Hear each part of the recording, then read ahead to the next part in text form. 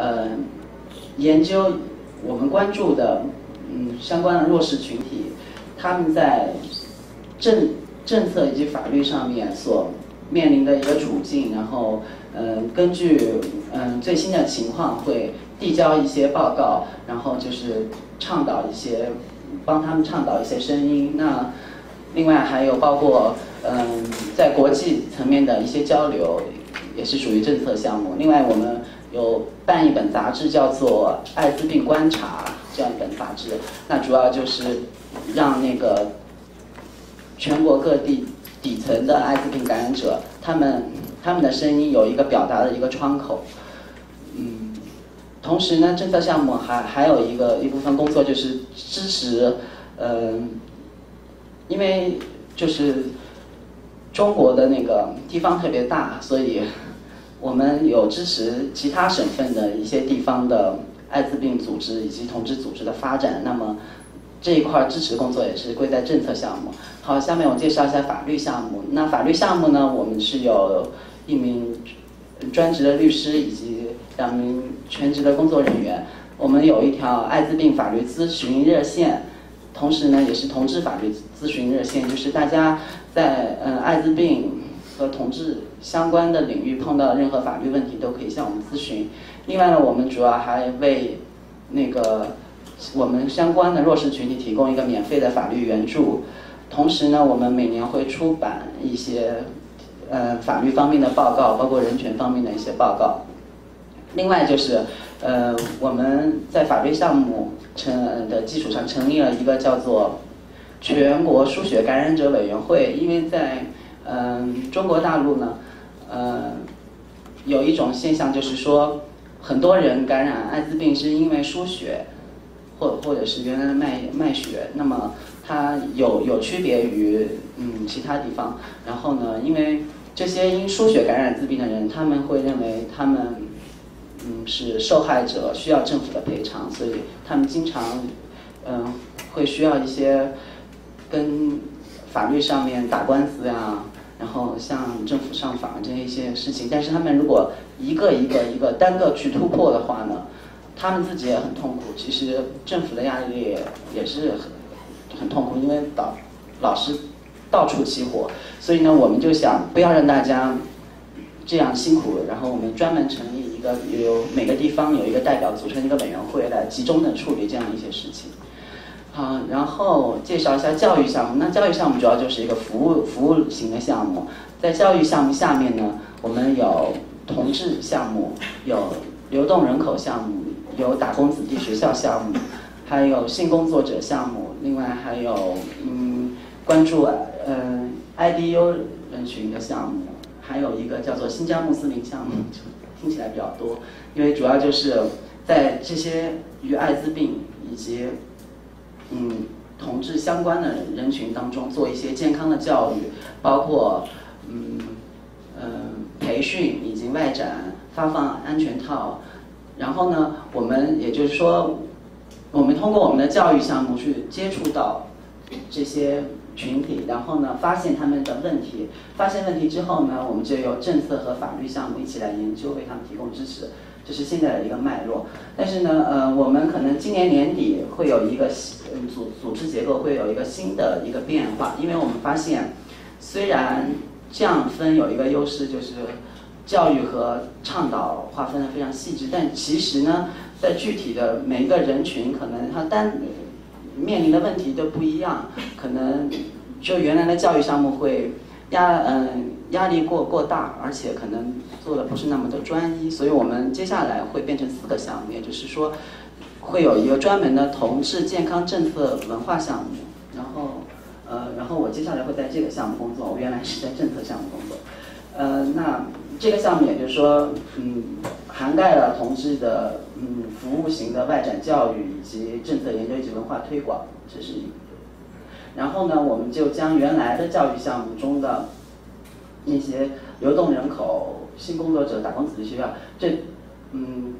统一跟那些呃流流流动人口有关的项目，专门成立了一个服务项目，就是原人教育项目，可能它缩小了，但是它也是关注他们的一个健康项目。那我们原人法律项目并没有变化，那政策项目呢，就是改成了一个叫做嗯，将改成政策与支持社群发展的一个项目，可能啊，然后我们机构现在有十七名全职的工作人员，然后可能各个项目的志愿者加起来，我也不知道有多少，因为没有统计。嗯，这就是一个大致的情况，谢谢大家。我每天几乎都会在 email 当中收到爱之行他们的各式各样的那个信件，他们有各式各样的行动，他们去建议建议立法，那建议立法啦，或者维护爱滋者权益啊之类的。在台湾的话，你做同志运动或做跟艾滋感染者相关运动的话，最惨的下场就是没人理你，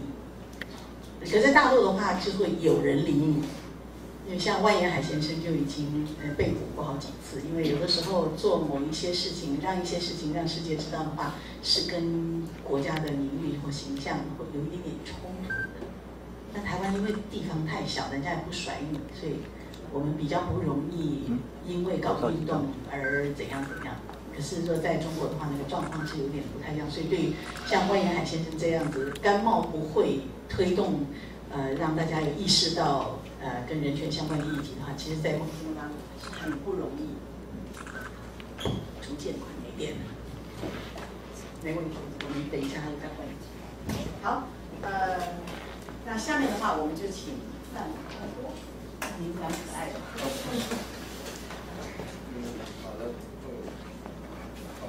大家呃好的，大家好，我叫范波波。然后那个发言十分钟，我们现在就开始计时了哈，现在是两点二十分。然后嗯，我先自我介介绍一下，这上面已经写了，我毕业于呃北京电影学院，然后我学的专业是电影学，就是有电影理论的部分，也有就是创作编剧的部分。然后嗯，先跟台湾的这个同同胞套一下近。就是因为我当时考电影学院的时候，我之前看过蔡明亮的电影，然后你们可可能想象不到，就是在江苏的一个呃，就是一个小镇上念书的学生，他在看了一张盗版盘之后，特别希望能够从事和蔡明亮同样的事业，然后，所以这嗯，这是好像无形之中让我觉得到台北有一种很亲切、很深刻的印象。然后，那我就直接进入主题。呃，我参与的工作主要是关于同呃，在北京的同性恋电影节，还有同性恋呃影像的呃推广和这个创作的呃协助这样的工作。然后我们呃第一届同性恋电影节是在二零零一年的时候在北京大学完成的。呃，那个时候我还没有到北京，那个时候我在上高中。然后那个时候是因为我们学校有一位老师叫崔子恩，他在那个。呃，大陆可以说是比较早的在媒体上呃出柜的人，然后他那个时候在因为在北大做了一些其他的放映的展出，他们就跟呃北大影视协会的杨洋和张江南在协调，在一次偶然的谈话之中，说到哎我们办一个什么影展呢？他们就说哎要不然我们办一个同性恋影展吧。其实当时在中国大陆有一些已经有些片子，譬如说啊《霸王别姬》啊《东宫西宫》，还有呃男男女女啊触及这个话题的。然后好像崔老师自己也没有太太深刻的就是呃把这个当回事儿，但是这两位影视协会的年轻人就特别有这个呃活力的去真的把这个电影节给做起来了。然后当时练习的影片包括就是《东宫西宫》《今年夏天》《男男女女》，还有呃崔老师自己的《旧约》，以及我们 台湾观众也都很熟悉的《蓝雨》。所以当呃包括呃电影的主创也都呃到了现场与观众交流，然后他们其实也没有呃想到第一电影节会有那么大的影响，因为好像是一个呃学校的社团的那个内部活动。可是当时因为呃这么扎眼的一个事情，在中国大陆，他他那个状态同性恋这三个字非常的引人注意，然后就导致了一些就是呃可以说在思想上面相对开放一些媒体，比如说新浪网、凤凰卫视，他们都去报道。然后，呃，观众也因为第一次能够在公开场合看到那样的电影，然后也是呃非常好的效果，呃，但其实就是因为他们报的时候叫同同志电影节，但是北大当时那个呃，他们常委对“同志”两个字可能误解成 comrade，然后他们也呃后来发现哦原来是这样的，然后后来第三届呃就这第一届的时候，其实本来有三天的计划，第三天呢他们一个论坛就没有做成，呃但是然后等到第二届的时候呢，那个时候是零五年。然后我大家都观众都在问我说：“哎，你们准备几年搞一次啊？”我们说：“哎，零一年搞了一次，零五年搞一次，那我们就四年搞一次了，像奥运会一样。”然后其实大家也不会等那么久，因为其实我们现在正在筹备第三届，呃，所以这个先再介绍一下第二届的情况。嗯，他第二届的时候就是包括台湾的台湾这边的英光四射歌舞团，香港的香港地区的好玉啊，也都去参加了我们的电影节，呃，然后。包括天公司让歌舞团是特别受欢迎的一部影片，作为闭幕影片。尽管我没有请到那个导演周美玲，对。然后，嗯，他主要一开呃一开始也是想和第一届一样，跟学校从学校这个入口，也是跟北京大学的影视协会合作。他们的那个当会长也是好呃挺有热情。可是我们呃这个第二届就比第一届更更惨一些。就是呃，因为其但是我们觉得他其实没有太多政策上的这个没有官方的这个呃直接的压力，但是我们觉得从这个活动中我们感感觉到其实公民的意识，就是说你对于呃很多人大众对于这个同性恋的宽容也很重要。其实当时呃我们第二届的时候，他是因为呃在放映的时候呃一个退休的一个已经退休六十多岁的放映员，他看了那些片子之后。他表示很反感，受不了，然后就非要我们换场地，结果我们就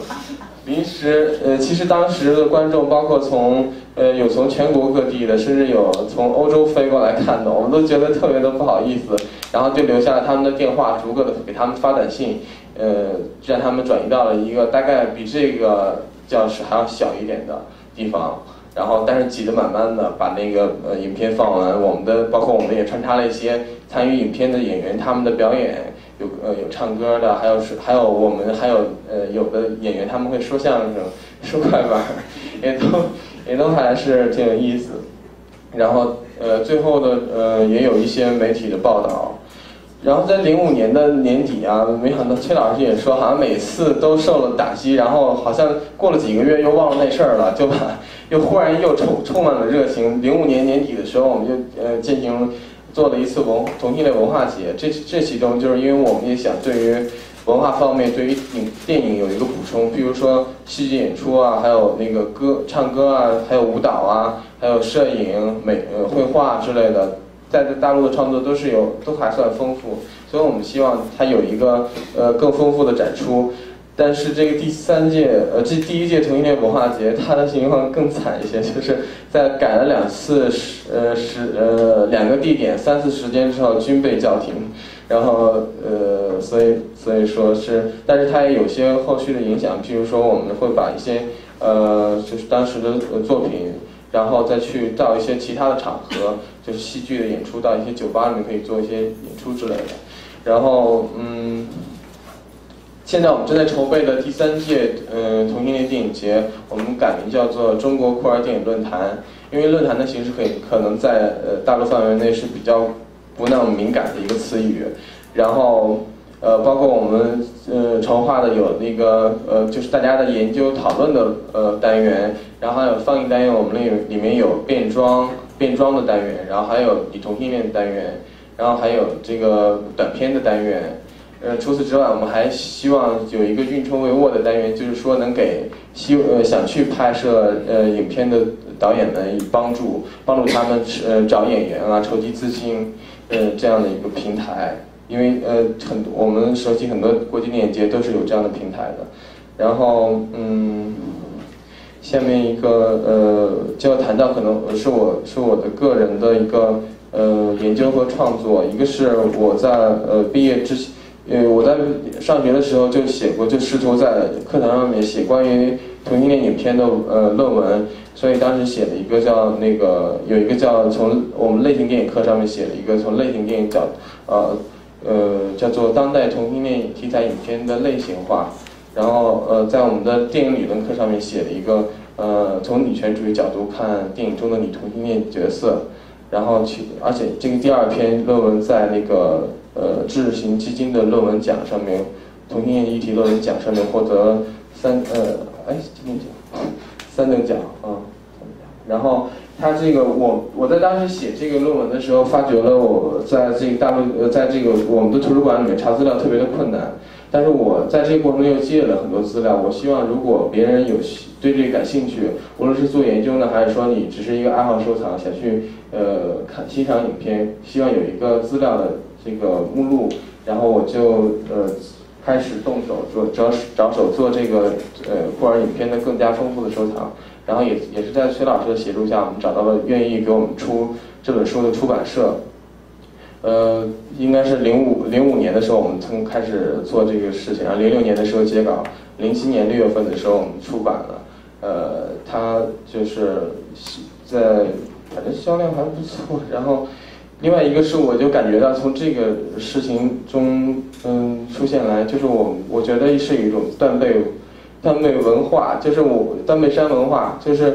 因为李安他是华人的缘故吧，然后而且断背山本身它的影响也很大，所以就是其实呃虽然他没有成功的在没有在没有能够在大陆公映，但是很多很多的人不管是从业异面，他们都知道断背山的这个电影，从网上看过或者是买盗版碟看过，所以现在很多呃人都很多人好像一辈子你都觉得他可能不会跟这个同性恋呃。就是这个词打上关系，尽管他可能遇到很多同性恋，但是他也不会，这些人也不会跟他出柜，因为他的文化层次和他的那个思想程度、思想开放程度都都比较困难。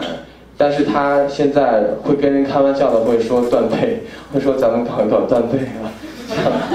所以我觉得有时候电影的力量真是非常，真是不可低估，电影文化的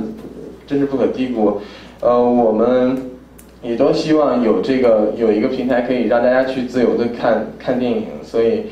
嗯，然后我们还进行了一些，所以我们进行了一些酷儿呃影像的收集，就是在中国大陆地区的，呃，好，但平时我们其实零零散散的，觉得并不那么多，但是我们等到做这个资料的时候，发现从其实从呃真正算是从音乐题材的。可以说是《霸王别姬》，可以是东宫西宫吧，就是一共我们收集了四十七部，无论长短的，然后其中也包括呃很多我们呃不且姑且不说它有很多影片的那个拍摄的水平，但是我们也觉得它是有那个文化现象在里面的，譬如说有很多影片是。表现这个衣装呃反串表演的人，因为他们就是，而且这些呃作者很多都是异性恋者，异性恋影像工作者，他们觉得这个东西可能是我们呃最需要、最最直接可以接触到的酷儿话语，然后他们就去拍。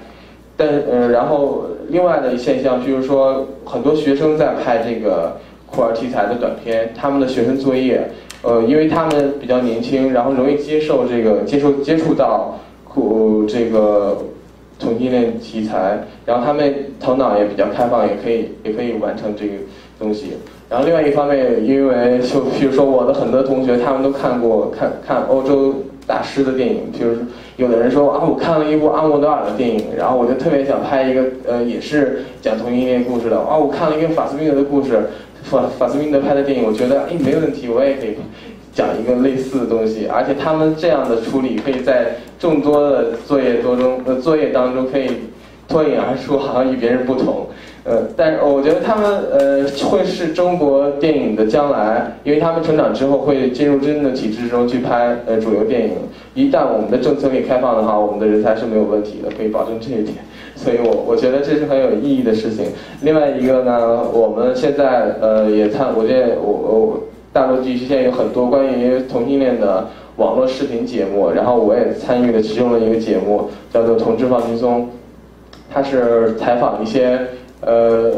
愿意出柜的同志，谈访谈他们自己的故事，然后这个播客也在呃第一届中国播客大赛当中获得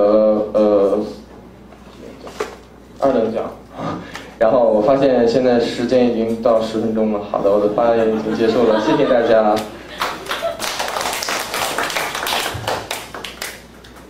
其实每次办这种活动的话，它可贵的地方是要让大家看到说，同性恋不是个人，同志运动要成功不是靠少数的几个组织，它必须要有更深厚的一个社会文化的基础。那在各种不同领域当中发挥自己的专长，去让那个文化更丰厚，然后更深层，然后更复杂，其实就对于这个文化的形成有关联。那更不要提，比方说像同志的那个交友啦，或者呃消费的地方。所以像台湾的话，有有经济书库，它作为一个好像看似看看似是消费，可事实上却是一个聚集点，是一个资讯的流通点。这一种都使得这个运动啊，还有一个比较呃丰富的面貌，而不是单单的因着某个事件大家聚集起来喊两声就结束的事情，还有其他的东西可以去调养大家的情绪啦，大家的互动啦，大家对于彼此的认知。好，我们下面就来看一个这个。呃，也是组织者，可是可以让整个的女同志的运动有一些呃更丰富的内容的。那我们就来请花开网站的创办人想起，真的是叫想起吗？哦，不是。喂，啊，大家好，呃，很高兴来到这里，呃，所以我我我自己是非常紧张的在这里，呃。那我想跟大家分享的就是大陆地区啊，主要是上海地区吧，啊一些女同志的发展的历程和状况吧。嗯，那哦花开网站呢，它是一个女同志的网站，它在呃是我在零二年的时候跟我的女朋友呃创建的。那当时我们只是想说，呃，可能那个那个那个年代可能会比较少女同志的网站，那嗯。所以我们觉得可能需要有一个集合的平台，包括一些女同志的资讯什么之类的东西。那所以当时就创建了一个很小的一个网页。嗯，那在这创建了网页之后呢，发现有网络上很多的朋友突然就开始跟我们联络起来，那就变得我的联系的方式啊，就是邮邮箱啊，我们呃还有大陆有一个 QQ，不知道大家知不知道？就类似 MSN 这些东西啊，就忽然暴增我的好友，然后就就非常的激动，就开始了呃全面的，就是每每一个阶段都会有更新的版本出现，和我们做了很多的活动，包括我们网站上面有一些嗯新闻，就是女同志的新闻和影片都在慢慢的增加，那就是所有的。呃，大陆的女同志只要连接到我的网站，都可以看到女同志的影片。那当时的这些资源和资料都是很少的，就是除了网络能够搜索得到。那我们就把它集合起来，包括当当年就是我们呃开就是创建了一个女同志，就第一个女同志的网络电台。我们是呃是想说通过声音来呃让大家了解就是女同志的一些资讯和生活的状态。嗯还有呃，花开网站还有一个比较有特色的部分，就是呃，我们做了一些女同志的算是产品吧，就是说呃，就是嗯，比如说 T 恤啊，还有饰品啊，就是以以女同志为主题的一些东西，但是这这部分会比较少一些。嗯，那呃，关于呃女同志网站的部分就是。呃，其实，在九九七年到二零零年的时候，就已经有一些大陆的女同志网站了。嗯，但是我想，花开网站是在大陆地区算是呃有一定的影响力的呃网站之一吧。这是网站的部分。那我们呃，现在我想介绍的是呃关于呃女同志的工作小组。那其实。说到工作小组，我觉得呃，可能要说起一九九九四年开始嘛，在北京就有很多女同志的呃朋友出来做女同志的工作或者活动，但是每一次可能他们有一些活动的时候，只是一个一个阶段一个阶段就很快就被消沉了，或者是他们就是没有做成一个很持续的呃影响。和那个组织的力量吧，没有一个呃持续的发展的力量，所以呃一直到零五年的时候呢，啊有一个有一个女同志从美国回来，她名字叫小贤，那对她呃在回到北京之后呢，她就呃创创立了一个叫童语的女同志工作组在北京。那从她开始呢，就她就开始联络了很多呃大陆地区的女同志，然后在各地都发展了，就是支持各地的女同志发展各地的同志的工作组。那现在我们在大陆已经有，比如说上海啊、成都，还有呃云南、广西都有女同志的小组。那他们的工作也是会支持一些各地的女同志小组做一些呃关于女同志的活动和女同志的嗯一些项目吧。呃，那我们的呃上海工女爱工作组也是因此，因为他在北京呃召开了一一个就是大陆地区女同志的呃工作会议，所以我们也在呃上海成立了一个女爱工作小组。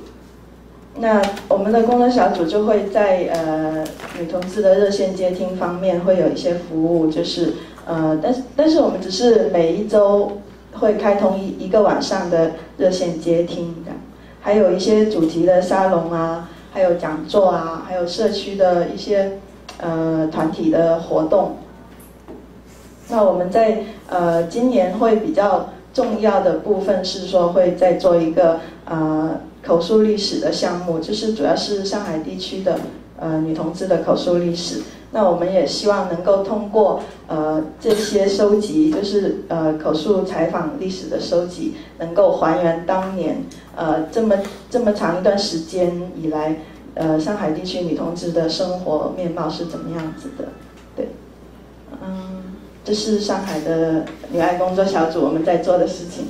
对，其实因为我们这一次来呢，还有一一位呃北京的女女同志过来。他们呃，因为她今天没有来到现场，所以我也希望帮她分享一下她在做的事情。那呃，他们在北京做了一个呃叫《Les》家的女同志杂志，这是呃就是印成真的是杂志书面的这样的东西。然后他们做的非常精彩，是因为呃他们有很多本来就是。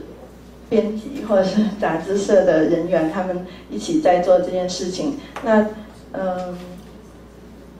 他们原来呃创刊的时候，就是在零五年十二月的时候创刊的时候，只是一张很大的平面的纸折起来。然后现在他们已经有一个很就是扩版的东西。今天我们没有带过来。发发安全套就是靠让大家去就是呃做。VCT 就可以解决问题的话，那么它不可能在这几十年当中会在同志社区会有这么大的影响。那么还有在其他的族群当中也是造成非常大的影响。所以当时也有跟就跟我的男朋友江华，然后呃去商量，去去去想，那么这种情况下，艾滋病的问题应该怎么样来解决才好？呃，另外的话呢，其实我们也觉得，呃，如果想艾滋病的问题，就是同志去污名化的这些问题，如果是想嗯着实的去解决的话，仅凭现有的全国各地的这些艾滋病的防治的小组是不够的，因为如果只做这一些的话呢，也是不行的。可是人应该从哪里来？我们可不可以做一些什么？在这种想法下的话呢，零五年开始，那么嗯。我们我们我们就有这方面的打算，呃，希望自己去做一些事情。那么，嗯，因为我和呃江华本身也是爱白的志愿者，当我们这些想法，嗯，在不断的交流当中，跟星星、跟冰蓝、跟他们在碰撞的时候，发现双方的想法是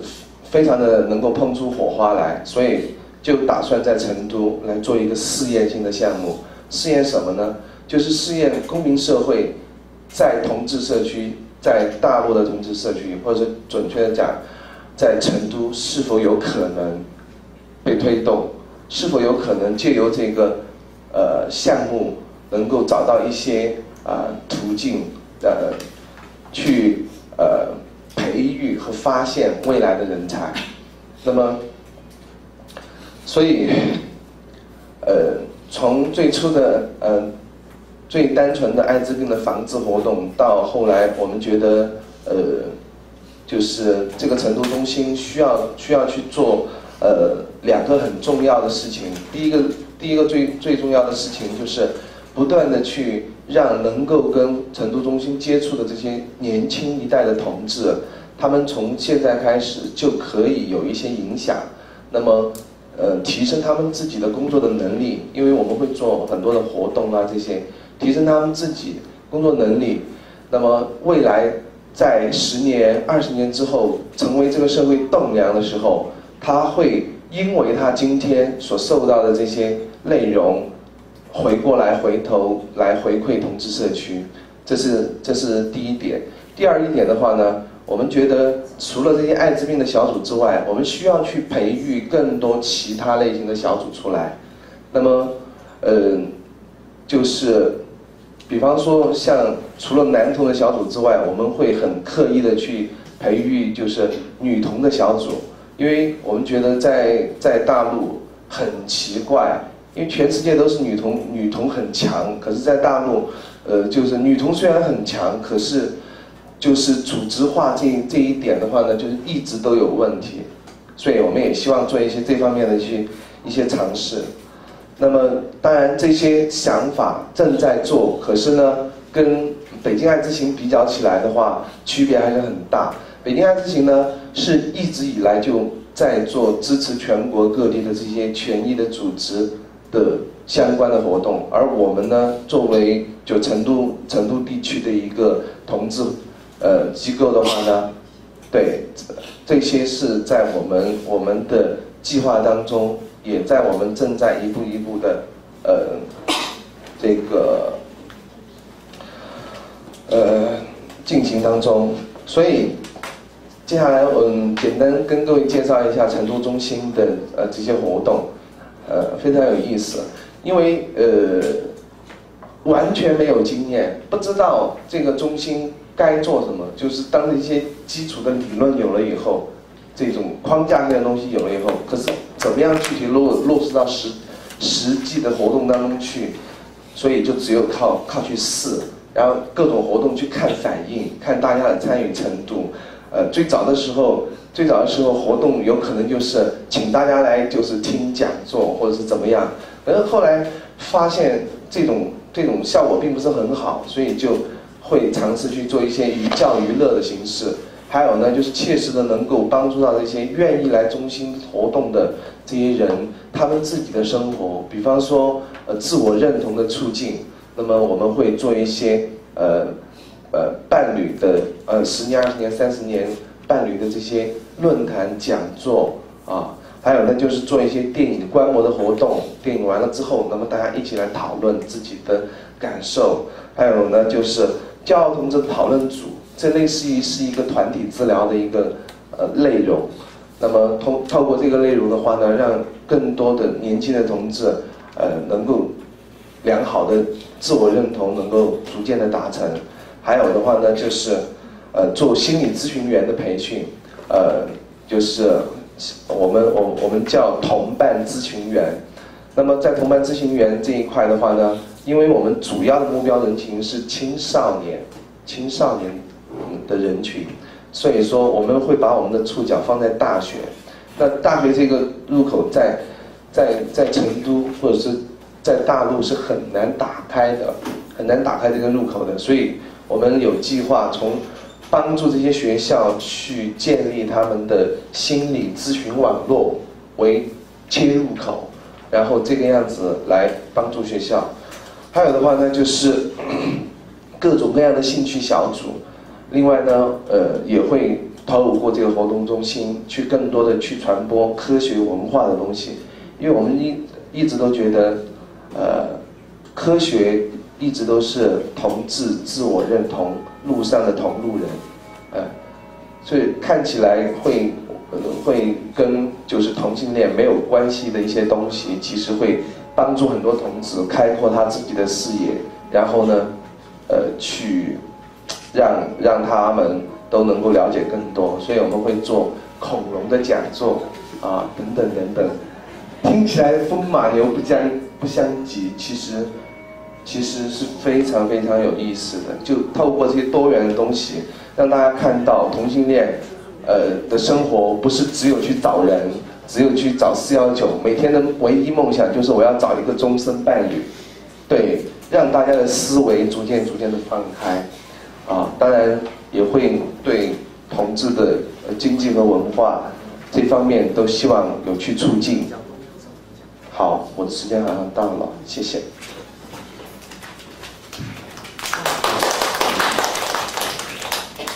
大陆朋友果然都是看着钟讲话的。那我们等一下就看看我们四位海峡这一边的朋友发言是否有自我限制。好，那我们今天请来的这个本地的发言者哈，也是真的工业标语，就是台湾的同志运动的组织工作者。重要的领头人物都在这里。那我们先请这个今今年又开始担任热线理事长。本来他是热热线，比如说叫做创党元老，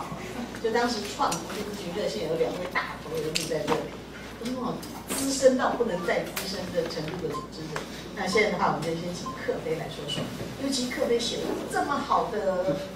就是对于大陆的同志运动，对于台湾同志运动的反省啊什么的，我实在是深有所感，就是剽窃了一下你的。这个写意见了好，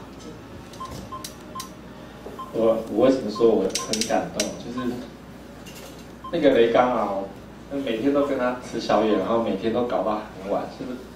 就但那个聊的过程非常有趣。我觉得在台湾做同志运动的过程当中，呃，你会发现大家会很积极，想要参与很多的事情，或也有很多人很热心在关心一些议题。可是最大的差别，我感受感受到最大的差别是说，其实很难有人这么认真的在谈组织这件事情。对，那其实组织这件事情非常重要，就是说它怎么样让一个运动可以更长远，然后让呃它的运动崛起的那个影响力更大。我觉得这件事情在台湾做同志运动的人，呃，应该说极少，而且很。呃，很少有机会去做这样子的反省跟呃思考，但是大陆的朋友给我的感受是非常强烈的，就是他们呃，不管是他们背后的组织机构，或者是他们个人，他们其实呃在呃访谈或聊的过程当中，可以很快速而且很精准的去跟你对谈到，就是怎么样去学习一个组织的运作方式，它的组织核心的东西。我觉得那个那个，如果不是对组织工作非常有意识的人，其实不那么容易做到。特别是他们年纪这么轻，呃，从二十二岁到二十五岁到三十三岁，对我觉得好。对我我的感受是非常强烈的，就是为什么今天我跟王平坐在这，而不是另外更多年轻的人坐在这里？我觉得这个是台湾运动的危机吧。呃，我大概讲一下那个呃，同志咨询热线发展的一个简单的呃分析。其实，呃，这样谈的机会其实也蛮少的。那在呃，其实跟中央大学有呃性别就是有很密切的关系。在前呃前几个月就刚好还找到一个呃历史的活动，就是九八年三月八号我们办那个三八桃花的，在呃台北清华月涵堂那个活动。那那个活动呃。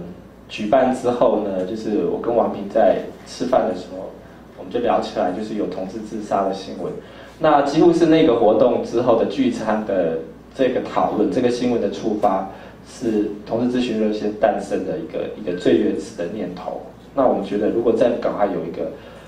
机构化的东西，然后让一些需要求助的人。能够得到一些帮助的话，其实这些小朋友他们在长大，可是他们过程当中还要和我们以前一样继续去摸索跟经历那个，嗯，很辛苦的历程，所以就很快速的，就是密集的开会讨论，然后在呃当年的九八年的六月，举办过第一次募款晚会之后，同志咨询热线在第二天正式开线成立。对，那呃，这这个成立的过程其实有一点有趣，就是。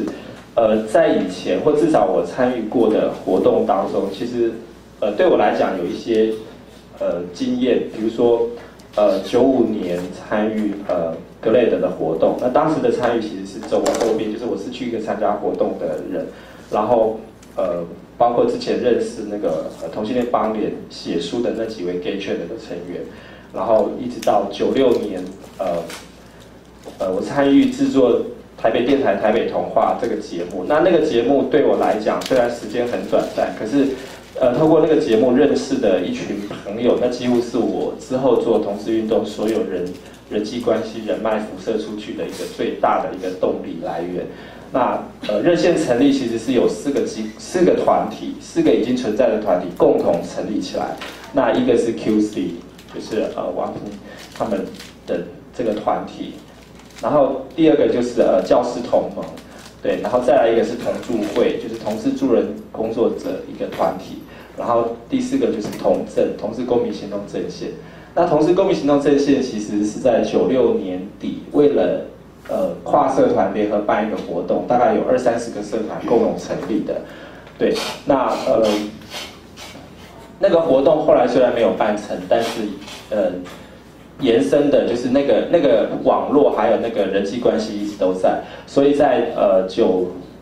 九七年的六月的时候，骄傲月的时候，其实我们办过一个呃彩虹同志梦公园，在新公园一个白天的公开的活动。然后在呃当年的八月，就是常德街事件发生之后，也办座谈会。然后到九六年年底，呃，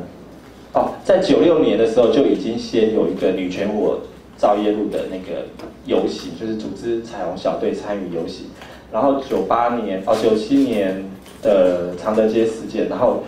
这个是同政的部分，对。那教师同盟的呃成员就是。创创会的会长阿宝，其实他也是台北童话制作群的眷属，对。然后同助会的呃创始的成员呃名字，他也是台北童话的成员，所以大概那个台北童话就是辐射出很多。那也因为那个呃活动呃那个节目，我跟华联有很深的交情，对。那因为华联认识了王平，然后认识了非常多的 Lesbian，我觉得我非常的幸运，就是在很早。参与的时候，其实身边就有很多很多的 lesbian 的朋友。那我觉得那也让后来的热线其实是一直都是呃男同志跟女同志一起工作的一个一个场域。对，那这个是呃九八年呃热线成立变成一个组织化机构，其实跟以前最大的不同就是呃以前是完全是社运的样貌。那社运的样貌是什么？就是呃就很像那个打带跑的，就是嗯。你为了一个活动，然后就赶快去找一支电话线，让记者可以找得到，或者是那个时候，对，反正就是你要用一种奇奇怪的方式跟这个外界或跟媒体有一个联系。但是一个机构组织化之后，就它是开始会有固定的办公室，然后会有固定的工作人员，需要固定的资金，对，所以这个是呃，我觉得应该算是台湾同志运动第一次组织化，然后呃，成为一个固定机构的一个开始，就是在一九九八年。那同志咨询热线它有几个很基本的理念，呃，其实也后来一直影响着它的一个发展跟性质。一个是同志同才辅导，那同志同才辅导的意思是说，呃，当我们这些在电话线上做呃电话咨询、咨商的人的义工，他本身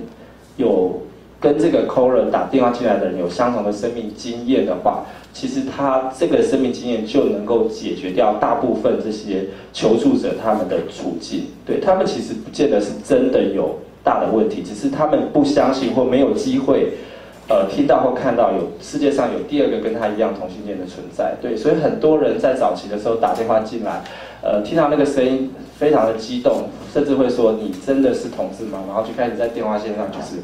呃，沉默还有惊愕了很久，对，这个是早年很常发生的经验。所以，同志同台辅导的理念是热线这个接线服务很重要的一个基本的精神。然后，也因为这个精神，所以我们在训练自工的时候，其实呃，有很呃很大的一段这个课程，大部分的一个课程有一半，呃，十堂课就将近是在讲同志文化、同志历史、同志。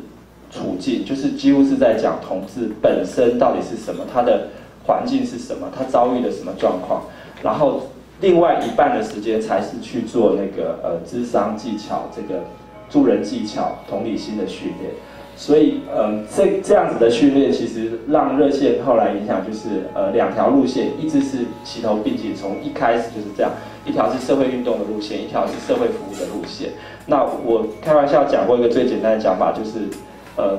同志咨询热线虽然是同志社群里面的张老师，但是他们是一群会走上街头的张老师。对，就是他们不但想要去改变这个每一个电话线上个人的处境跟状况，他们也想改变这些个人他们所在的大环境的结构面的问题，很多人权的问题，很多那个法律的问题，或很多文化的问题。对，然后另外一个嗯理念是同志资源网络，同志资源网络其实呃跟刚刚讲的有点类似，就是这些人他只要能够相信他。以外，其实有很多同志的存在，建立这个跟社群的连接，跟整个呃同志文化的连接，其实他可以得到很多自我的力量。对，所以在我们的服务呃开始的第一天，其实我们每呃每个接线义工他手上都会有一个很厚的资源本，这个资源本是全台湾各地的同志场所、同志空间。还有很多的同志书籍、同志电影，对，所以我们觉得每一个打电话进来的人，怎么样帮助他们建立跟社群、跟文化的资源网络，呃，连接，这个是很重要的。所以这个会变成我们一个很重要、核心的一个基本的理念。另外一个第三个核心的理念是呃，同志社区中心。对，那这个社区中心的概念是说，呃，这个机构它。呃，不止影响个人，不止去影响政策，而且他希望可以连接整个同志社群，所以包括在空间的选择上，其实同志咨询热线一开始就是选择一个会有比较大的开会的空间，还有教室做培训、主训这方面的事情。这个社区社区中心的概念，也让呃整个同志咨询热线跟同志社团都保持一个很密切的连接。对，其实包括呃。第一届的募款晚会，其实当时要怎么样去卖四百张门票，对我们来讲是一个从来没有过的经验。于是我们把当时全台湾所有的同志社团找来，然后开了一个卖票的说明会，然后每个人都被分派到要去卖多少张票。那这个模式其实沿用了十年哦，就是呃，就是到后来整个热线晚会从四百个人变到呃六百个人、八百、一千人、一千两百个人，其实。它的卖票其实除了呃金金书库跟女书店之外，然后到去年增加了这个拓网 To Girl 这个网络售票之外，呃那两个售票系统其实是提供中南部的同事朋友，但是还是有相当高的比例其实是透过整个热线的呃工作人员他们的人际网络，然后或是他们扩散出去的人际网络在卖票。那这个呃我觉得这个有意思的地方是说，因为热线一直是靠着基层或靠着组织的。力量在帮助他灌溉他成立，所以我们对于资金的来源是这样子的辛苦跟，呃，一点一滴累积成的，呃，所以所以我觉得这个是热线，它其实可以很重视草根或很重视每一个义工他的价值的地方，对。那这个这个事情其实呃。在另外一个东西上，我觉得可以看叫看到另外一个对照的状况，就是在呃两千年的时候，热线第三年的时候，当时我们已经在讨论要立案这件事情。那立案就是就是在官方那边有一个登记注册的动作，然后它会有一个呃呃一些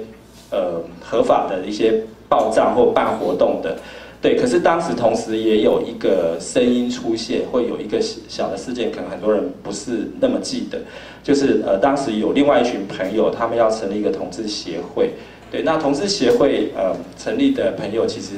几乎也都是热线的好朋友，还有我们身边的，包括像呃那个经济书库的阿哲，包括像许佑胜，然后杨宗润，方体的二哥。对，那其实当时呃。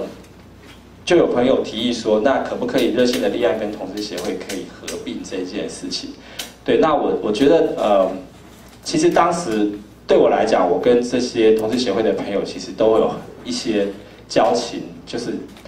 呃也非常尊敬他们。可是后来在这个决策上，其实热线的内部是做了一个否决。那那个否决就是。呃，热线的内部其实大家有意识到，就是这个事情到底它的影响是什么，所以后来非常非常慎重的召开了一个，呃，很难得的一个所有义工的一个大会。对，那呃，我觉得呃，那当然是一个决定，我只是要讲说那个决定其实对热线后来的影响，就是说包括热线的决策机制，还有热线的一些呃组织的状况，其实我觉得在那个会议。呃，可以呈现一个状况，就是热线是重视所有这个参与做事的这些义工，所以他们其实他们的声音在对热线的呃呃工作人员或热线参与的这个决策机制上，其实是有相当的影响力。对，那这个是呃，我觉得在热线发展上有一个重要的一个精神跟想法。所以在两千年的六月九号，对，特别挑了六月九号，热线 正式召开成立大会。对，那这个就是呃，这是跟内政部登记的一个同志机构。对，然后当时就我刚好当选理事长，那所以理事长就要有一个理事长证书喽。然后我就开玩笑说，是全国第一个列管的同性恋，领有执照的第一个同性恋。然后呃，其实这个。立案立案之后呢，其实热线开始有更多的机会去开拓一些资源，合办一些活动，包括两千年的呃台北同玩节，还有后来两千零一年举办很多的教师研习到各地去。对，然后在后来的时期，零三年到零六年，热线开始进入到另外一个就是工作组分立的状况，呃，教育小组、家庭小组、艾滋小组、人权小组、老年同志小组都纷纷在零三年到零六年这之间。成立，然后这个小组其实各自就有很很呃专业，还有很分工的发展。不过其实造成的一个影响，也就是热线开始呃，我觉得大家太专注于工作组的事情，以至于就少了一个可以统合的，大家那个统合的视野，关心不同事情的视野，其实会有出现那个危机。这个是呃，就是后来到零七年之后，我们感觉到这个事情，所以零七年我们就开始整合。就发展出另外一个工作会议的决策机制，这个是由各组比较资深的义工去参与。这个会议大概有呃十五个到二十个左右的人员。那这个机制其实它呃后来我们确定就是在这个机制里面，他讨论的是关于运动的路线，还有很多运动的理念这方面的讨论。然后把事务性行政事情就呃交由这个行政人员、工作人员、专职人员来决定。所以在今年我们也增加了一个工作人员。对，那这大概是呃热线发展的一些简单的过程啊。以上，年轻的人多半就是以热情取胜，老的姜的话他生命的沉淀取胜。我还他第一年做理事长的时候，我其实在场合上听过他一两次讲话，就是现在听起来真的很不一样。第二次回国做理事长的时候，那个。他有一个整体的一个图像在他眼前，对这个运动、对这个组织的发展有很清楚的脉络。好，我们来听听看，来谈一谈他对这个运动的的观察哈。我们请王平。应该要比较简单的来略述一些过程，不然这样讲下去还得了？因为我还要讲科菲参与的前十年在干嘛，这是很恐怖的事情。我比较简单讲一下，因为科菲已经带了那个整个热线的发展，在台湾同运里面，我觉得，嗯，非常重要的一个历史的位置，跟当时的一些社会脉络。我们这个团体，其实在我我想在两千年之前，我们这个团体基本上也不太清楚，我们基本上就是热线的很大一块一部分，所以很多工作是一起做的。那那那说的部分就不用讲了。我比较想讲说，我们这个团体到底是什么东西？其实，呃呃，目前叫性别人权协会。可是刚刚，嗯，柯飞在介绍说王平那个团体时，他用了一个很有趣的字叫 QC。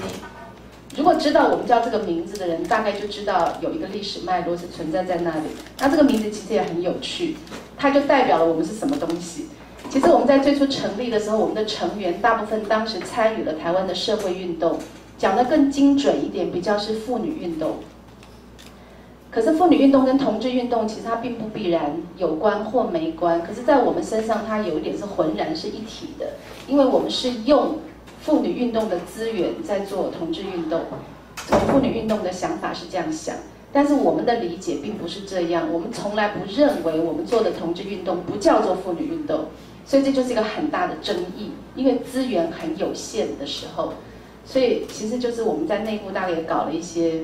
让某些人。不太愉快的状态，就是我们其实是一直跟人家不愉快的，我们从来没有让人家愉快过。那因为那个前历史实在太长了，讲那段就不够时间，所以就略过。就讲我们就直接出来了，我们就觉得我们必须有一个清楚的自己的面貌，我们要做什么运动是用我们自己的嘴说，然后我们自己的身体来打造的。所以我们就成立了一个自己的团体，就叫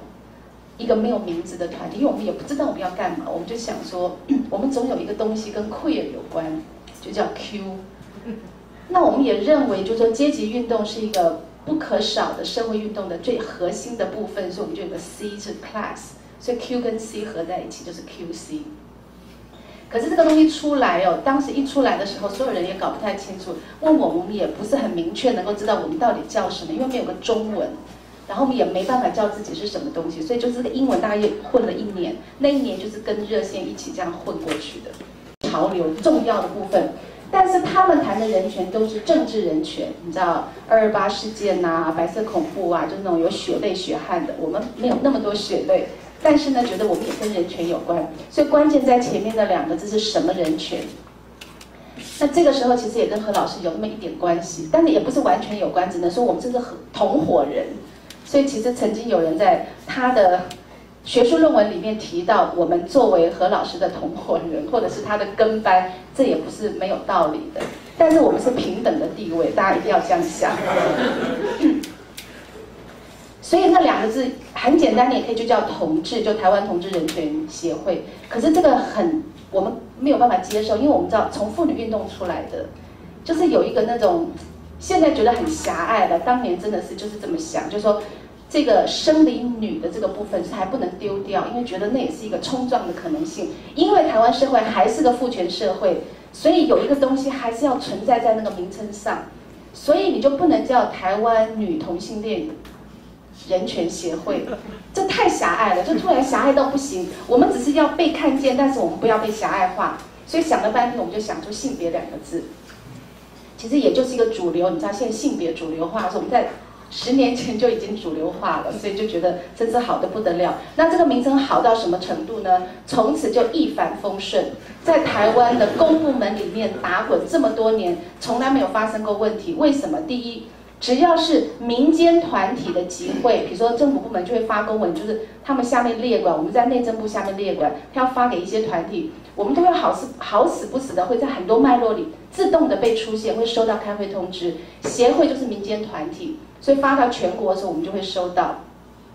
发到人权团体，比如说现在有个人权的议题，我们也会收到。然后发到妇女团体，这是我觉得最骄傲的一件事情。就是虽然我们离开了原来的妇女运动，但是我们从来都没有缺席，因为我们也不可能缺席。所有发到妇女团体的那种公文，我们也会收到。然后当然了，我们一直是在做同志运动，所以只要是同志运动，我们站在那边也不觉得自己是不一样的。反正就是觉得好，就是曾经有那么一个发展，让我们觉得我们做了一件很正确的决定，就是我们的名字取得真是好。那我们做什么呢？做的事情当然就是带着我们原来的社会运动的背景，进到一个台湾的民间团体里面，希望持续的透过组织发展的方式来持续的我们的运动的方式。那这个运动是什么运动呢？除了督促自己运动以外，当然在我们的介入的所有团体里面，我们都在做运动，包括我们参与了呃呃艾滋感染者权益促进会，我们就几个成员就介入了那样一个团体的发展，也在里面搞运动。所以其实有时候在内部开会的时候，我们都是那个比较凶的那几个人，就是比如说要做决策，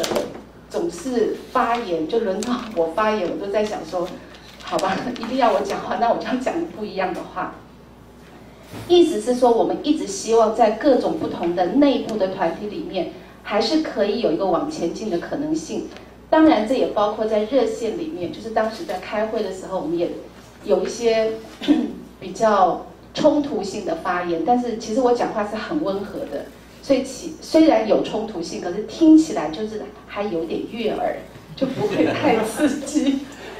因为刚刚柯飞有提到一个，我有点想补充一下，就是热线确实在发展的过程里面，因为是一个咨询热线，所以它很着重社会服务。但是在参与热线的工作伙伴里面，不管是哪一任，就是秘书长，就包括多多在之前，Poki 或在之前，其实都有一个很强烈的想参与社会运动跟打造社会的这样的一个想法。可是你知道，如果有这两条路线，一定有路线之争，这是不可避免，我们也不想回避。所以在内部讨论的时候，其实曾经针对这件事情是有过争争论的。那我觉得就是说，一个团体本来就是会有很多不一样的声音，因为团体是众人所聚集的。可 可是就说，团体在前进的道路上，怎么样可以兼顾一种理想性的发展，以及让某一些，比如说我们希望还是进行社会打造、社会运动这件事情的声音不要消失。我觉得大概只有一种方式，就是。持续不断的，一直去做，一直去讲，然后一直存在在那里。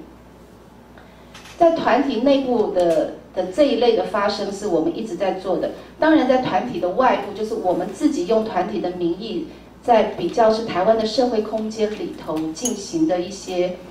嗯，算是对台湾僵化的体制、各个类型的体制的挑战，那也是从来没有间断。所以我们就会觉得我们。真的不只是做同志运动，我们希望的是参与全面的打造社会的一个运动。所以我们就参与过很多很多运动。那请上我们的网站可以看到很详细的介绍。那我就想回应一两点，就是刚刚已经在讲的一些东西哦。就是听到中国大陆朋友在谈到他们的组织发展上，我们觉得听到一些限制。或者是我们很快的会想到一个限制，是政治上的限制，比如说没有人民团体组织的权利，所以比如说办个同性恋电影节要打带跑似的换一些场地。那我觉得要做一个台湾的回应是，台湾似乎我们在政治上是没有这个限制的，很自由、很开放。你要组织团体，有些窍门还是 OK 的，虽然很麻烦，可是聚集没有问题。当时台湾其实，在同志运动发展的过程里面，我们不是外界对我们的限制有问题。其实是个人的问题，可这个个人不是个人问题，也是社会问题，而是那个出柜的状态，就是我们没办法。因为现在听起来是你们如果要找十个出柜的同志站在媒体面前是 OK 的，可是你们不能说我们要举办一个一百一百人、一千人的活动，因为政府会打压。我们可以办活动，可是我们要十个人站在这边说我们都是同性恋，然后你们来访问我，媒体也来了。会有问题，会是一个自己的问题，所以那个出柜的那个压力，会是过去我们在提到台湾同志运动发展的时候，其实是一个重点。比如说以前像柯飞提到那个历史的年代，比如彩虹夜总会啊、同镇啊，办了很多公开的活动，都要让媒体去宣传，才有其他人看得见。可是，在记者会的现场，就是出柜这个东西，当年都会是同志运动内部。讨论运动策略很重要的一件事情，会有个很大的会场，大家辩论出柜是不是必要？什么叫出柜？以什么方式出柜？难道我们不能用一种叫做集体出柜的方式面对社会吗？甚至会提到就是华人社会跟出柜的关系，就是出柜这两个字已经变成是一个运动的核心思考。所以我们的发展的一个就是呃那个叫什么面罩，就是很美的那个羽毛的面罩，其实用了好多年。那大家已经可以看到，台湾的同运确实有改变。现在你们不会再看到面罩了，就是那个污名化的过程，在很多社会运动的发展里面是慢慢的被移除的。公娼运动啊，性侵害者的运动啊，同志运动啊等等，我觉得那个面罩曾经是运动上我们很重要的一部分。好，这是不一样的。然后另外一个是我想提的，就是因为我们除了介绍现状，我们有点期待，我们还可以谈谈将来可以怎么做。那我们会觉得，在台湾这样的一个往前冲的一个运动方式，当然要持续的不断的进行。可是我们也觉得连结是重要的。那连结包括，比如说两岸三地的连结，比如说亚际的连结。那我们甚至更觉得，不是国际连结最重要，而是亚际连结很重要。因为在整个国际的发展上面，亚洲是一个很奇怪的地方。而亚洲也很奇怪，台湾也看不到别的亚洲国家，即使在你旁边，就是你的世界里的国外都是一些很远的地方，特别是我们的移民署是非常恐怖的地方，他们就完全没有这个这个眼界，也许我们应该去运动他们。所以我们现在有一个工作重点，就是希望能够把我们的眼界打开，把运动者的眼界打开，所以我们希望是通过连接的方式去跟很多地方做连接。那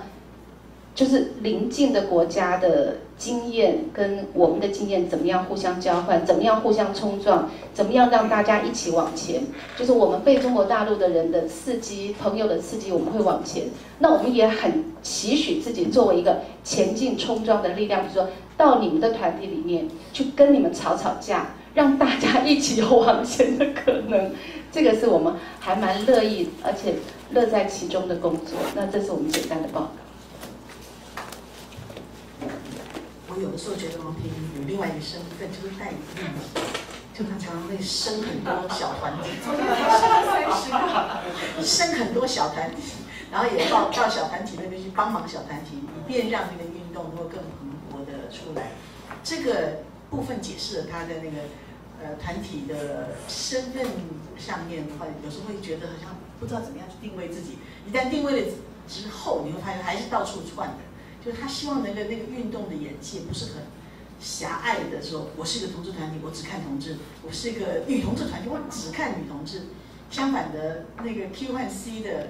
意义，在他他今天没有时间多讲。那他那个意义的话是非常非常宽广的，而且那个 C 字，嗯，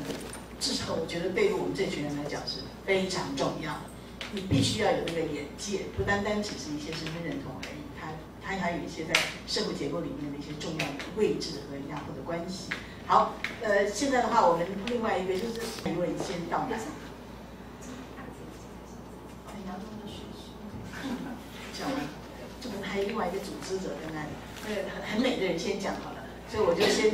先请这个多多。你们如果去年、今年看童人节的海报的话，那上面有个美女。OK，这是多多。麻烦您。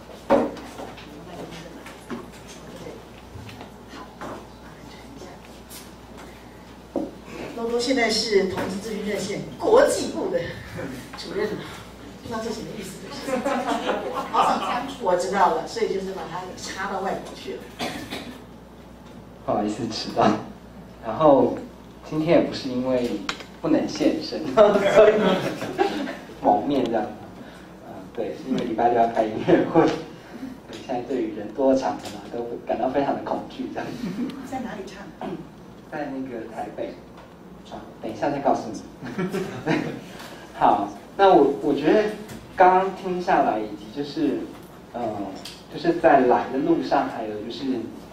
呃，其实之前就一直在想说，今天到底要讲什么，或者是彼此之间要有一些什么样的回应。那我我觉得我，因为克菲刚刚其实呃，把热线的一些脉络其实讲的还蛮清楚。那我觉得我在这部分，其实我就不多讲这样。那我觉得我讲我看到的一些，就是关于呃热线的部分，以及比如说台湾目前一些呃其他同志运动或者是其他社群的一些一一些现况。那以及我觉得呃未来我们在未来有些什么，就是我们在现在有些什么样的困境，或者是呃在未来也许我们还可以再做些什么这样子，嗯。同事咨询热线成立之后，那我觉得其实刚刚其实都有谈到一个非常重要的东西，就是说，当你一个团体正式立案之后，其实你就会在这个政府的这个公部门里面去取得一个发声的位置，就是他开他就会知道说，OK，今天有一个同事团体在这里了，那呃，关于同志相关的同性恋的或者双性或者跨性别的哈这样的一些议题的时候。那他就会知道说，OK，我可能需要来征询你的意见。好，那在以前，就是他要找到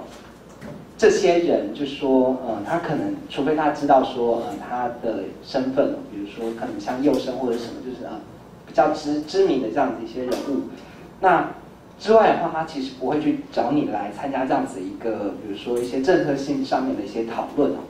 可是随着就是说，呃。一些同事团体的一些立案，那么在这些政治或者是社会上的一些议题上的这个参与，其实是逐渐增加的。那呃，以热线这两年的一些状况来讲，就是说你可以看到，就是说呃，热线跟政治团体，或者是热线跟其他的一些 NGO 的团体，那么当然包含了，比如说我们刚刚讲到一些比较边缘的一些呃，跟我们。就是大家都是弱势比较弱势的一些团体哦，可能有性工作者的，有呃艾滋感染者的，好，那或者是比如说一些一些其他团，那还有一些比如说像比如说刚刚讲到，比如说像台湾人权促进会，那我觉得像呃这些不同团体的这样子一个参与或者是连接，其实它是去打开就是呃同志运动的其他的一些面向，就是说。呃，你不是只是在做，当你你在这些团体里面合作的事情，还是跟呃同志是有有有些关系的。可是当你在在跟这些团体合作的时候，其实你也在冲撞他一些原本的一些观念，或是他原本一些想法。那你也开始去接触到一些可能跟性弱势不是这么相关的一些团体，比如说像是台湾人权促进会。好，比如说像是呃司法改革基金会，那或者是比如说像热线最近开始，呃跟一些呃媒体改造的一些团体，或者是跟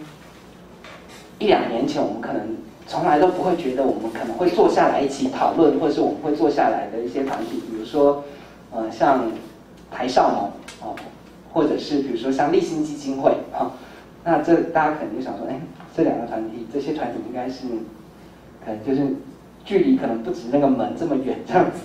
好，就是在性的这个议题上面，其实是站得非常遥远的这样子一个，就是这这些团体，可是，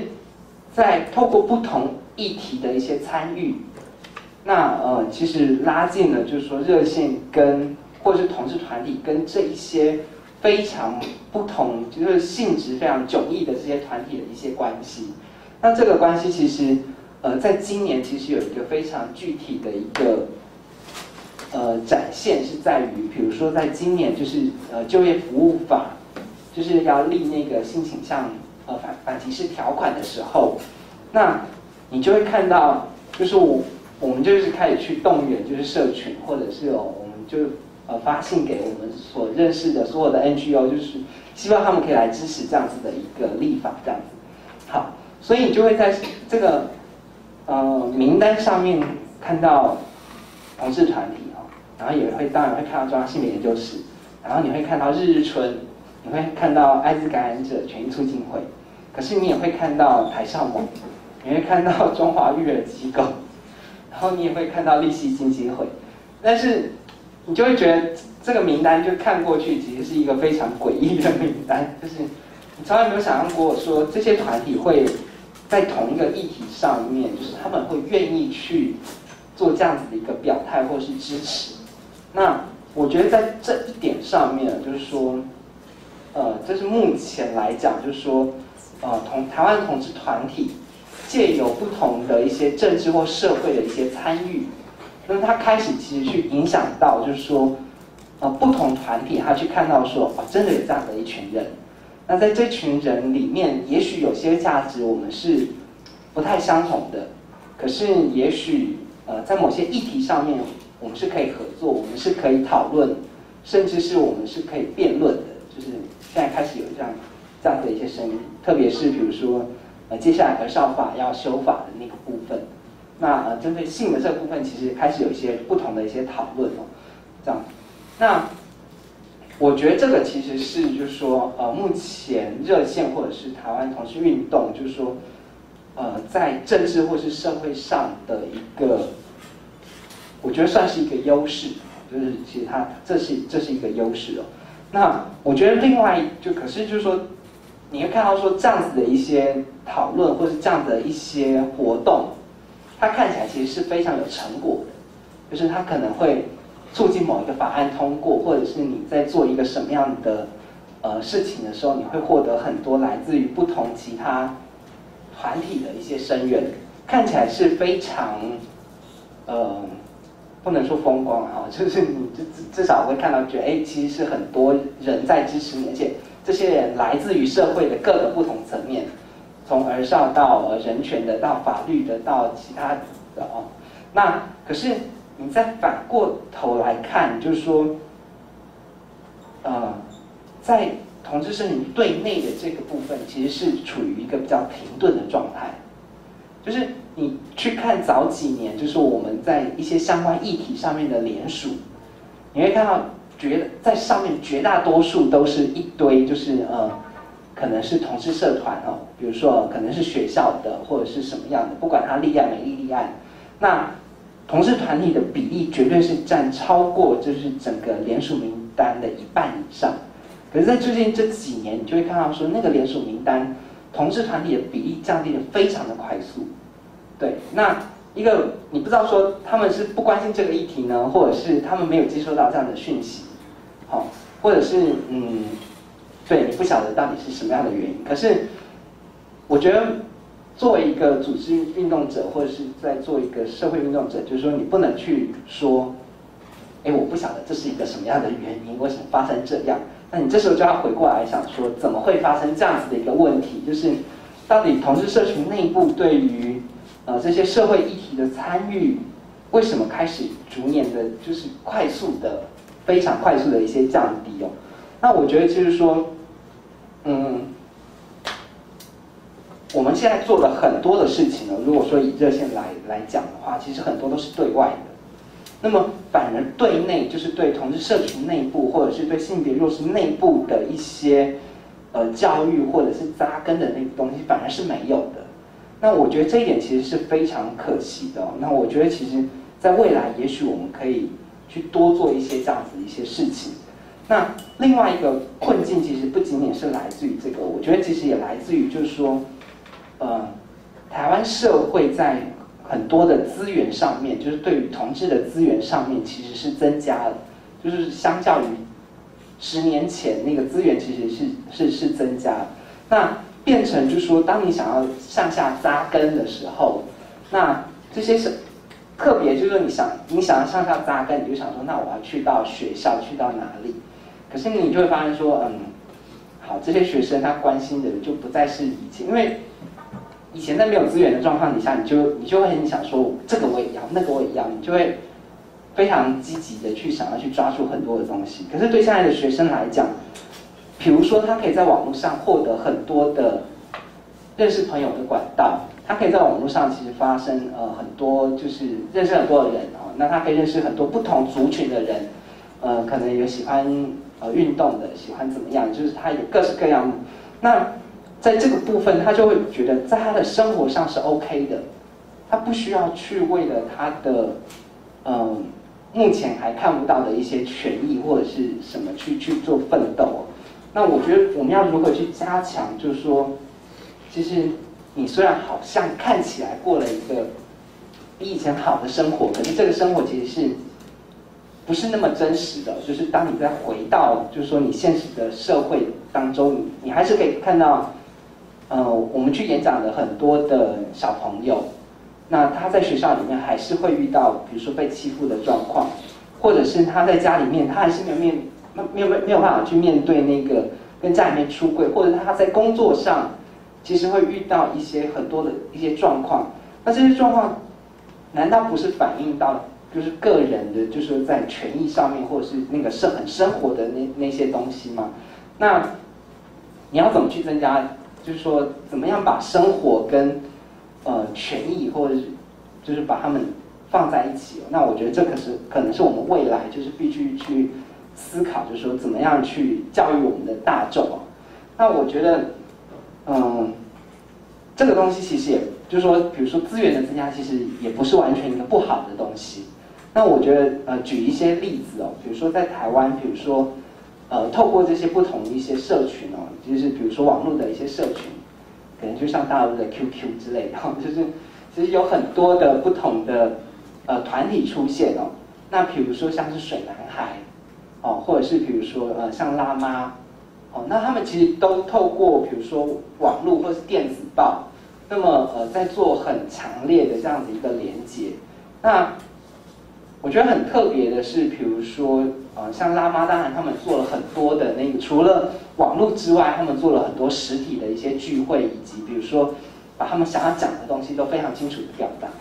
那另外一个，我觉得，比如说，我想特别讲的，就是今天阿正不在，可是我还是觉得水男孩是一个很特别的团体。就说，当然一开始就是他其实是一群爱好游泳的人，那他就聚在一起。好，可是我当然就是当然随着就是。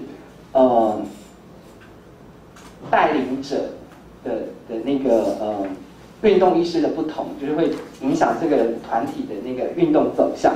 所以水男孩他也就会变成不是一个单纯的游泳的一个这种同好会，他就会开始，比如说你看在那个游行的那个过程里面，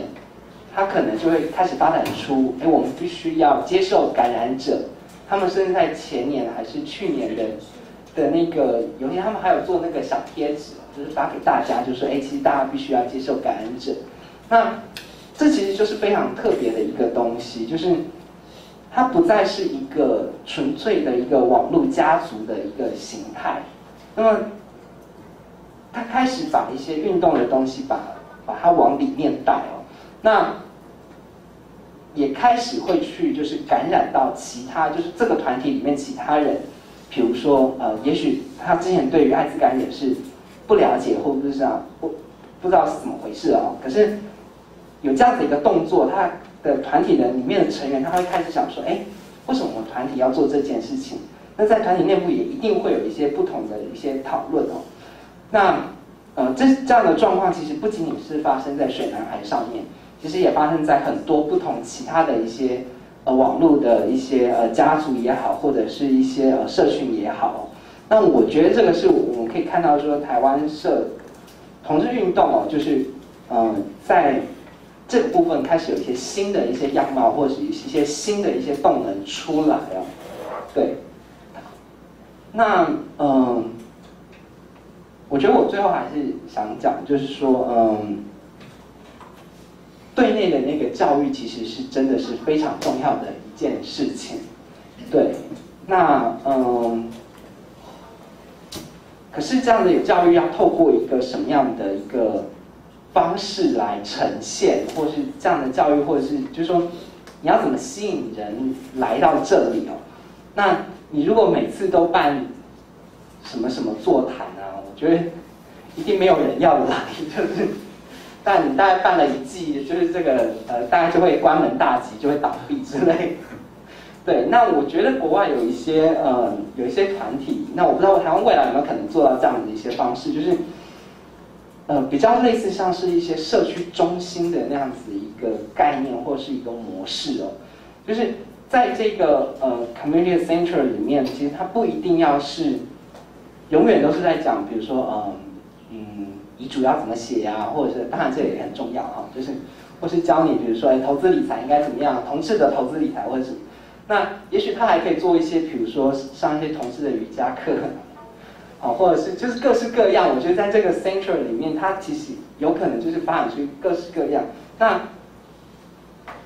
对于现代人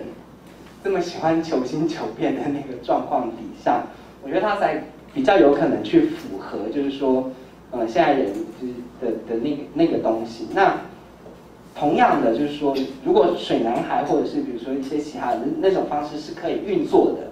那类似在这样子的一些活动里面，就是说，你其实它虽然看起来就是跟同志运动没有那么的相关，可是有没有可能在这样的一个活动里面，就是说你把一些什么东西带进去，给你的呃，就是来参加的这些一些成员哦，那我觉得这是。也许是是是一条路这样子，那嗯，对于国际的连接的部分呢，就因为要出国，所以被冠上一个那个 国际部主任。好，我会努力的做国际连接的事情。好，好，那我我我还是觉得，就是说，其实是非常，嗯。就是我，我觉得我这几次出去，然后跟呃不同国家的人接触，那我觉得，嗯，其实是非常非常，那感受其实是非常非常不一样的。那嗯，我觉得台湾的同志运动有一个呃比较幸运的地方，是因为台湾在一个这样子的一个社会环境里面，所以你看到台湾的同志运动。他可以很单纯的从同志运动做出发，去直接讲，比如说同性恋、双性恋或跨性别的一些权利，或是他们的一些东西。那可是你在很多其他亚洲的一些国家，你就看到说，其实必须像很我们早年的时候，他必须要用一个很迂回的方式，特别是呃，他通常来讲，我看到的模式通常都是他透过比如说艾滋的这样子一个防治，好，那他在里面开始去偷渡一些可能跟同志相关的一些一些议题这样子，对，那呃包含了比如说呃像新加坡或者是像泰国。或是马来西亚，其实都是这样子一些状况啊。那去年就是呃大陆朋友来的时候，其实听起来大陆也有一点点状况像是这样，因为你不能够很明白的去讲说，我现在正要做统治运动，所以因此用一个转换的方式。那可是你也会看到说，在我觉得就像侏罗纪公园里面那个非常有名的话，就是。就是生命会找到它自行的出路啊就是即使你用各种不同迂回的方式，直接或间接的，那我觉得其实都很努力的。你就会看到各地的组织工作者，其实司法系统的人都知道那是一个烙印。这个烙印呢，就算你你你释怀，可是在你的文书上面这件事情是留着的。它有什么样的可能的影响，是必须要大家要要跟他一起去承担这个后果。那对于台湾保存而且抗争呃。言论自由在政治的领域里面有很多很多的人，而且现在已经收割了他们的果实，都做上官了。可是另外一些为了各位的言论自由和资讯自由打了四年整整的仗，他现在也只能吞下大法官六月七号视线文，然后继续的活下去。所以在这部分的话，我觉得就整个同志的抗争来讲，就同志肯定他自己的生活空间、他的资讯空间来讲，是有可歌可泣的重要性的。你希望未来写同志时不会忘记这一页。那我们现在听听看阿哲对于同志运动的看法。我大概没有这种经验哦，还没讲就开始想要哭哦，还没讲才开始哭。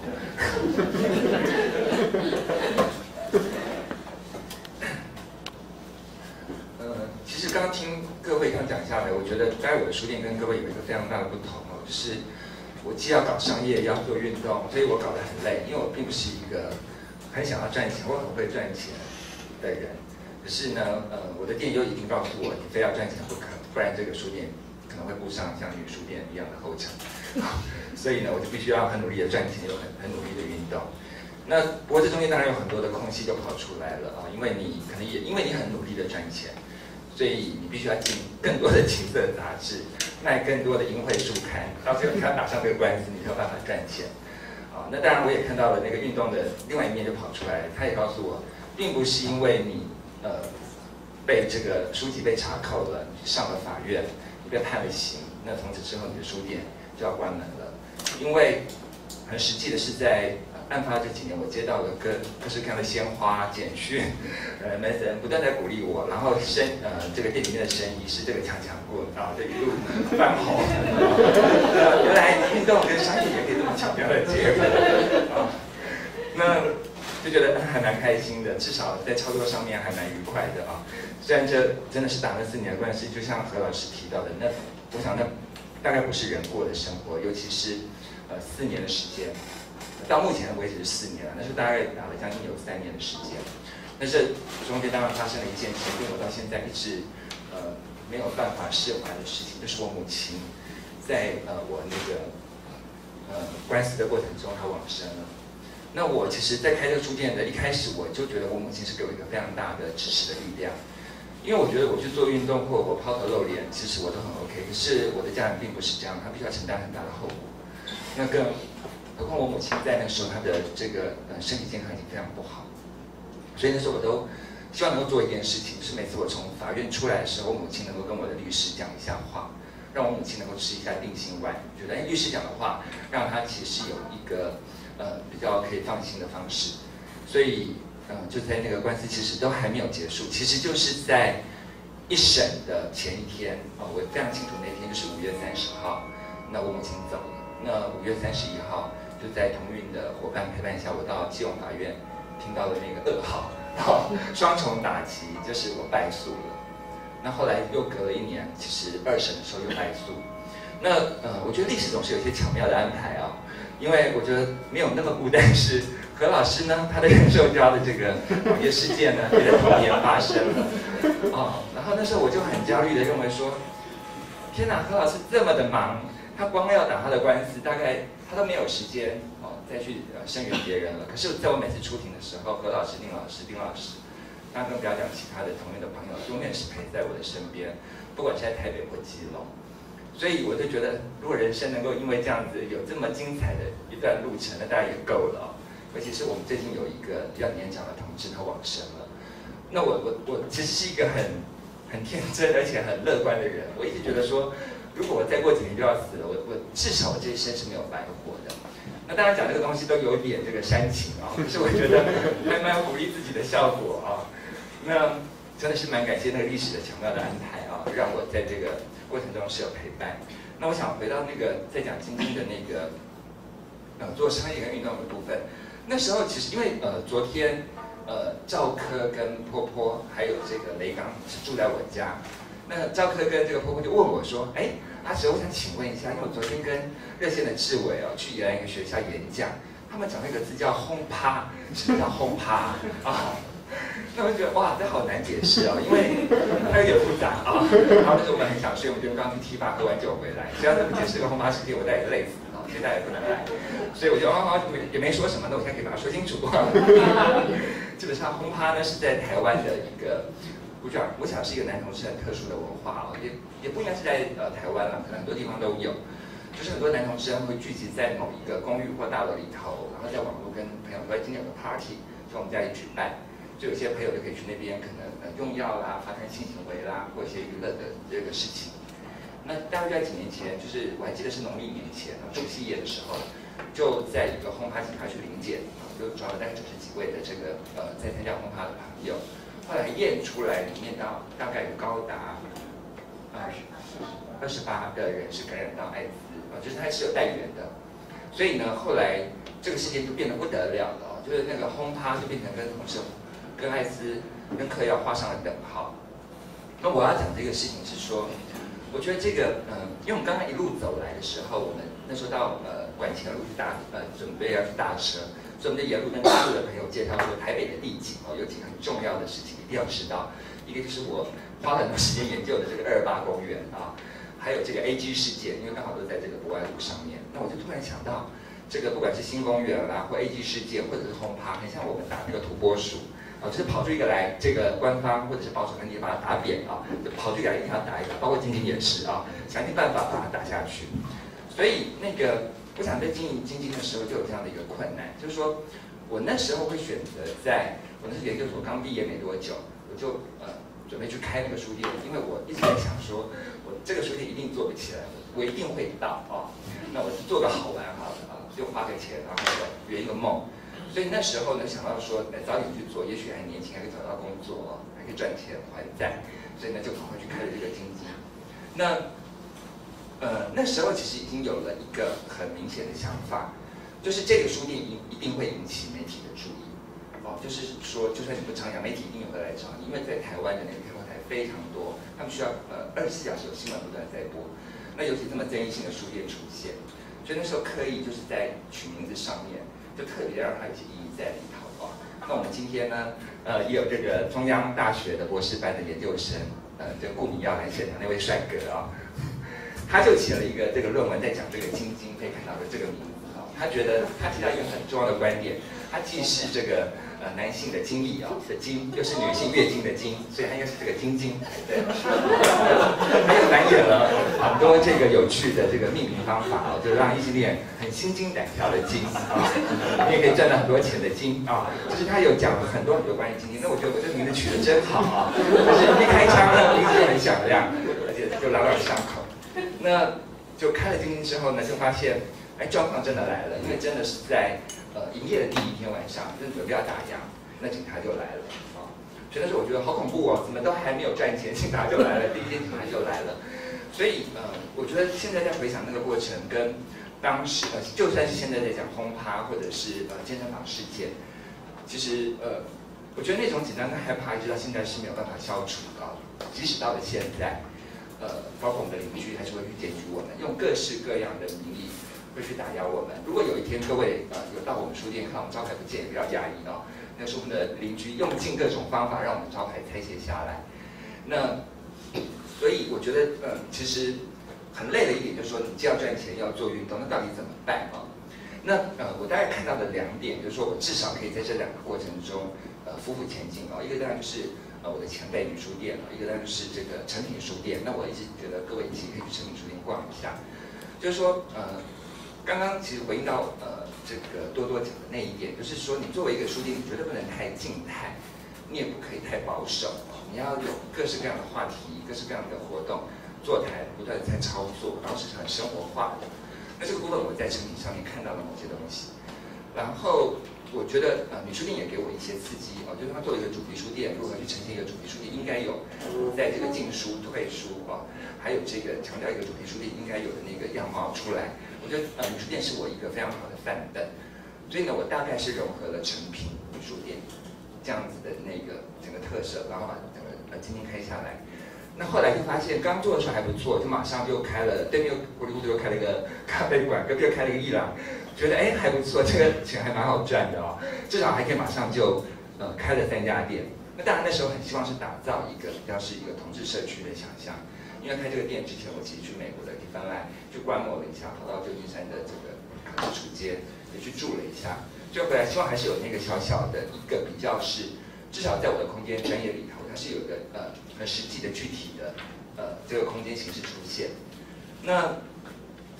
这里头就发现了呃发生了几个问题哦，因为其实后来发现现在学生都不太爱买书，哦，就是越开到后面呢就很累，就发现呃学生会呃来买书也会开始跟你杀价，就说你还没有卖的博客来低啊，我们再回去博客来买就好了。那或者是说他们觉得去这个 Seven Eleven 呃领书很方便哦，像你们这样子其实不能呃这个售后付款啊，就是买完了再去结钱，我们也不想去。所以就觉得压力非常大，就说在那个商业上，我几乎是被逼到了一个非常窄的缝里头，我不晓得该怎么样走下去。因为可能各位都不晓得，其实书的进书成本非常的恐怖，是七成，或者有时候是七五成。那再开个发票，然后再刷个卡，将近快八成，那是一件很可怕的事情。那我要请这么多的店员，然后要用这么多的设备，那我觉得有点入不敷出。所以后来其实就是发展了一个方法。就是说，要员工呢，很像百货公司的售货小姐啊。就是说，你们不再是书店的这个售货员，你们是百货公司卖面膜、卖这个呃面霜的小姐。记得，如果说你去百货公司，小姐曾经卖过你一个面膜，最后加眼霜啊、加乳液的话，你也要这样做。所以呢，如果各位买了一本啊，呃，这个呃同事研究，那是不是应该买一个这个呃人造石墙梯啊？就是想办法让这种方方式啊，不断让他给替一代。这个书出去，那其实后来就有点去做这样的事情，就怕客人不高兴，就觉得你根本就在强迫我，所以呢就在里面踹来踹去，就觉得至少还能够掌握某些界限，然后让这个来的客人是觉得比较舒服的。那里头有个很重要的因素，就是说，我觉得这里跟运动有有有些关联。我那时候在开书店的时候，我其实发现了一个蛮严重的状况，就是我之前去女书店，我发现女书店居然都没有男性的员工。那我也问过女书店的朋友，就是为什么不用男性的员工或跨性别的？他就说他们还是希望能够照顾就生理女，呃，以他们为主。那时候我在想说，天哪，我我本身就是一个异性恋的这个嗯男同志，我等于是有某些优势在，我一定有一些东西我看不到的盲点，所以我一定要找到一堆人来跟我一起来经营这个书店。所以那时候我就开放了我的这个在这个真台上面。呃，一定要有异性恋的身份，还有男女同志、跨性别、哦，艾滋感染者、双性恋，还有一些这个歧视同志，但是他有更多的身体的残障、他弱势的、呃聋哑的朋友。后来就发现，其实他们给我的冲击非常大，因为在呃书店作为一个呃运动的门面，我这样讲也许有点夸张了，哦，就常常发生很多事情，其实他们可能要找各位不是那么方便，他们马上冲到我的柜台来，麦克风。就放在我的嘴边，就要我开始讲话。那我觉得有些事情我都还没有沉淀过，我实在很难回答。那我也考虑到说，其实有一些事情好像也不用我来回答会比较好。比方我可以请我的女同事的员工来回答，请我一个异性恋妈妈来回答，应该比我回答要好。所以在一个商业的操作上面，我其实刻意的摆放了这些人，安插的那些位置，让他们在事件发生的时候，他们不会觉得说来说去都是你在讲，当然你会讲你自己，对你自己好。所以呃，就是在面对媒体的那个跟运动的关系里头，我觉得我的这些员工帮了我非常大的忙，也让我的形象不带不单单只是阿哲的店这么单纯一件事情。那呃，再来就是呃，跟社区的关系有点紧张哦，就是刚开始开那个书店的时候，本来邻居一直觉得说我大概就是一个小小的安安静静的乌漆嘛黑的店开在那里，就没想到他们发现我是大片玻璃，而且我在媒体不断的放话哦，接受媒体的采访，所以呢，他们就觉得有些压力哦，就是开始那个彼此的拉扯就出来了。所以他们那时候其实有到我的书店来做了一些很不礼貌的动作。那如果各位其实比较清楚，我附近甚至都还是教会，很多教会邻里啊，被天主教跟基督教教会包围。所以呃，他们来的时候就跟我说，这个社区都是因为你这个书店啊，所以让我们的社区的品质非常差。然后这个房价也这个直直落啊，都是因为你这个书店。那我们希望你不要再把这些东西挂出来啊，就安安静静的在你的书店开这个书店就好了。那那时候我心里想说，你凭什么？你凭什么来这样跟我说话？你是谁？那事后呢？当然我也发现了，呃，发现了一件事情啊。我想这个大概就是台湾房地产很好笑的事情，就是说，因为我没想到我真的是选到一个金鸡母的位置哦，那个地方叫公馆啊。那我前面有栋大楼在台电大楼，后面有一个三军总医院啊，然后还有台大跟师大左右附附房，让我那个书店的房价呢是绝对不会直直落，还这个拼命的涨啊。后来就出现了这个台大美学院有这个陈希宇。进驻有王力宏进驻了，我就跟邻居讲不会啊，我们都还有这个呃这个总统的女儿都住进来了啊，这个偶像明星也住进来，楼上还有这个李安的工作室啊，李刚的工作室都在我们这里，怎么房价不好？那我一直呃，我想大概就提到了几个点啊，就说自己在操作商业跟运动上面，我觉得自己真的很累，是因为我没有看到某些模范，至少在台湾，然后我也在内部也跟我股东发生了很多的争执。他们觉得你花了太多时间在做运动上，但是我跟他们说，如果你不做运动的话，我们的书店其实不用开了，因为本来的意义就是希望能够有一个比较运动性的空间是出现在这里。如果你不做运动的话，那怎么办？那当然就是跟股东之间有很多内部的拉扯。好，那我最后要讲一个比较好玩的事情，就是呃我母亲往生那一天啊，那呃因为要布置那个灵堂告别式，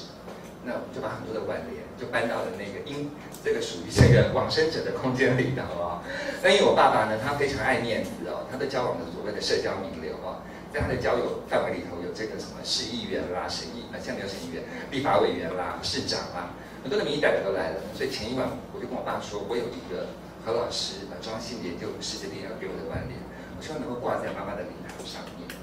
然后那时候我想说，天哪，我老爸一定会反对啊，因为可以何老师讲一下那个对联嘛。我已经忘了。好，反正就是同志之母，等等等等等。我是有同志，确定有同这个字啊。那旁边当然就是一些这个市议员啊、民意代表送的这种歌功挽联的这种，呃，的很多的白布条出来。所以我就跟我爸说，我非常坚持妈妈的这个何老师呃性别认识这边送的挽联，一定要挂在妈妈灵堂的最前面。那后来我爸爸其实呃蛮，我觉得他蛮，他真的是很疼我。他说 OK 你挂。所以那天我觉得很多人都在窃自己说。这管你是谁送的？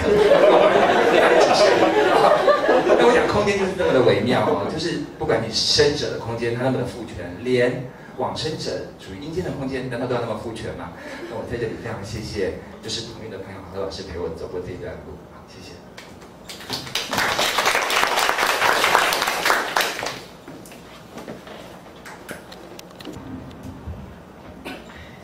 我我我也比较有幸运，因为我。爸爸是一个很古的人，所以他有事没事他不替别人去写挽联，非常的知名。因为我从小的时候就常常读对联啊，读那些，因此只要有机会的时候，我就会自己写挽联。好像也把我自己的写好了，我要回去找一找，放在电脑的哪一哪一个 file 那个 folder 里面去。因为我觉得就像写推荐信一样，我一定是自己心里写，然后写的是很切合这个人状态。所以我也希望那个那个晚年也是很切合这种状态，然后可以 make a statement，就他他表示一种立场，他宣告一件一件事情。所以对于阿哲这个晚年，应该还在网络上面啊因为当时我们留下来的时候就就写在网络上面了。好，我们其实今天的这个校外人士的语言呢很丰富啊，这个我以后一定一定会整理出来。我们的工读生在哪里，Jerry？？Jerry，Jerry 要来整理哈。这个听了，所以大家可以让我们打出来。那我们自己中央性别研究室的话，我们今天其实有也是有安排老师在现场，就希望能够也跟这边的对话。那我算一嘛，那我已经讲完了，就就就算我一了。那我们还有三，你可以看四四四，其实有十二个人在这个地方。那因为时间已经做的比较长一点，所以我们就请那个中央性别研究室的老师就酌量讲重点就好，不要讲太多理论。不要讲太多的内容啊，就酌量讲这样子。那我们按笔画顺序好。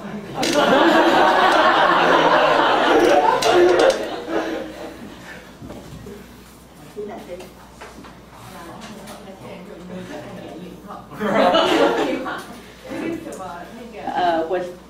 我我大概我我觉得会让我想到可以很简短的讲一下，大概就是我是我我这一代，我觉得是。在学校里头，然后是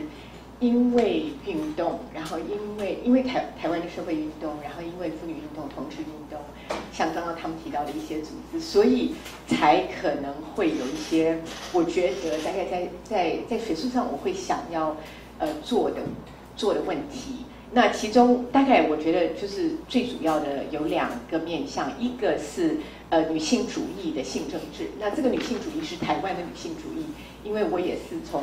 呃，跟王平刚刚讲的，就是王平刚刚讲那个脉络，就是从妇女运动出来。可是就我觉得真的就是到后来越来越觉得很有必要去思考，就是说，呃，台湾的妇女运动走了一个很特殊的路，然后它内部也有一些很很特殊的争执，是别的地方不，也许有类似的，可是不完全一样，因为那个社会跟那个历史跟那个文化都不同。所以这个部分其实是需要去思考的。那我我大概就有一大块，现在还在做的就是这个东西，就是女性主义跟呃妇女运动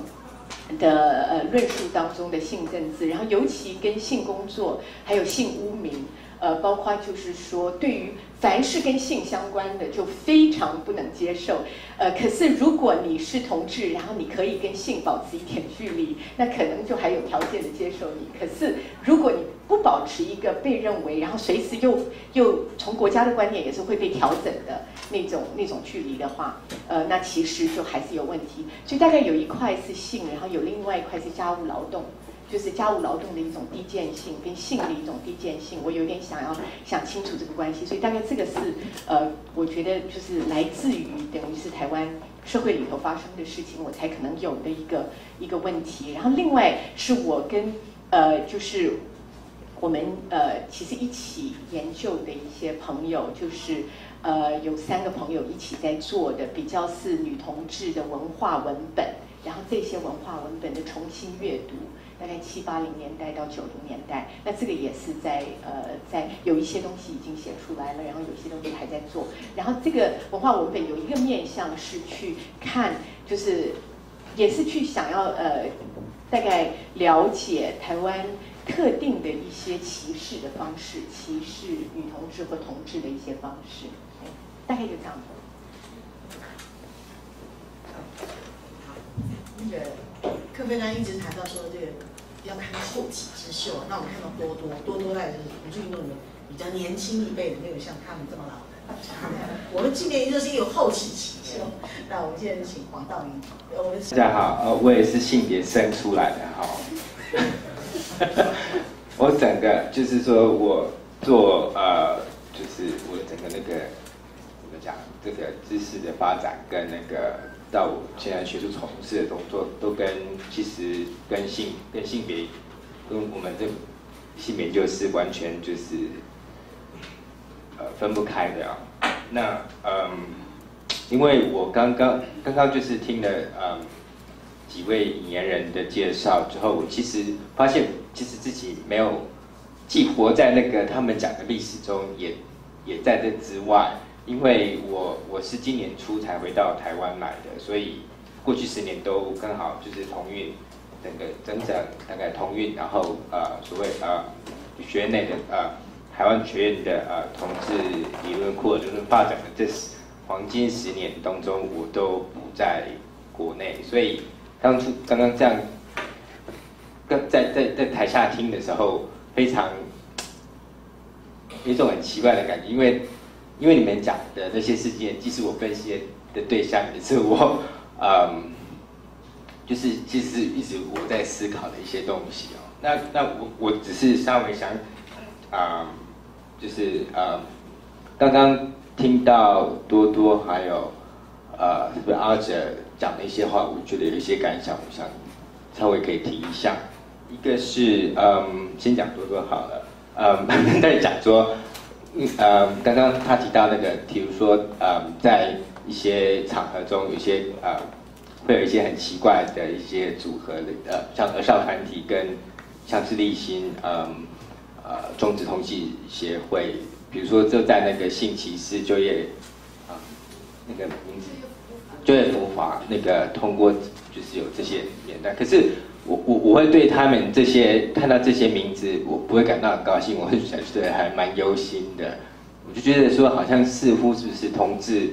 有一种平权的性别，某一种性别平权的意识，已经进入了一种就是被收编或者是一种形成了霸权意识的一种状态，以至于这个能够更进一步呃去服务这些极端保守性呃团体，他们去进行进一步的呃训训化跟教化，就像那个福法那个那那那条法律里面，特别我记得刚刚看到那个新闻的时候，我记得很清楚，就是说他就说啊不可歧视性倾向等等等，可是他就说。但是除了呃性虐待，还有动物，就是说人兽之恋之类，只要那人兽当然就指就是是相当在呃何老师的这个事件中发生出来，他们就马上就抓出来，就说对啊，一切新闻都听整，但是除了还有人就我就就是说，嗯，他他在平等化的同时中，其实一直在排排除一些更边缘的呃呃性事件，那呃这一点是我想要。就是说，我觉得说，在在在我们说刚刚说在向下扎根，在对同同志，呃，在就是做教育方面的工作，我一直觉得说这个这个也必须要随时提醒，啊、就是比较年轻的一代。然后第二个就是说，阿哲在提到轰趴呃轰趴艾滋跟同志，然后这些污名的连接，这也是我一直我的研究一直在。呃，就是说一直在从事的分析的的对象。那嗯，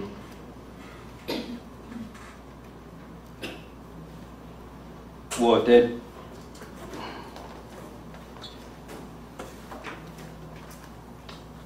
嗯，我自己的工作室就是之前比较是在分析，就是整个就是同啊、就是整个。同志的等于说文化历史跟呃政治，那那在我的研究中，呃，像是这些呃同志的污名跟性都有关系，而且特别他他的那个性就是说在呃又是透过国家对于色情对于风化的管制，那我觉得近几年来同志团体跟一些弱势团体，例如说工商事件引发之后的呃。呃，就是说，集权运动团体的串联，比如说日日春协会，这之间这些都是呃团体的串联跟相挺，我觉得是非常重要，而且必须对在在就是说对抗性的道德跟污名非常重要的一环。那嗯，这个我觉得可能跟大陆的情况，我不晓得，我待会也很很希望听到，就是说，比如说呃。大陆那边对于呃卖淫这回事，跟就是同志，还有说呃，是不是是你是透过卖淫来来管制同志，卖淫来管制艾滋病？因为那我们记得说，当那个 H 事件发生，H 事件其实就是他他就是包括就是我们看 H 事件，他就是啊、警察怀疑里面有色情交易，他才进去查嘛。对，那包括就是说到现在的网络援交，也是因为就是交易这档子事，所以我觉得说对于这个就是呃性交易的呃处罪，是不是呃我在我自己觉得说呃对于不管艾滋的防治也好，或是同志平权也好，这都是啊、是相当必须而且重要的一环。对，我就仅仅讲这样子，OK，谢谢。你有话要讲吗？没有，你有话要讲吗？没有。对，咪咪说他放弃他的说话权。好，我们一是应该有一些时间让大家能够呃有有有意见或者想问题或者有一些回应的话，能够发表一下，所以给大家开放，谁想要讲话的就可以请举手。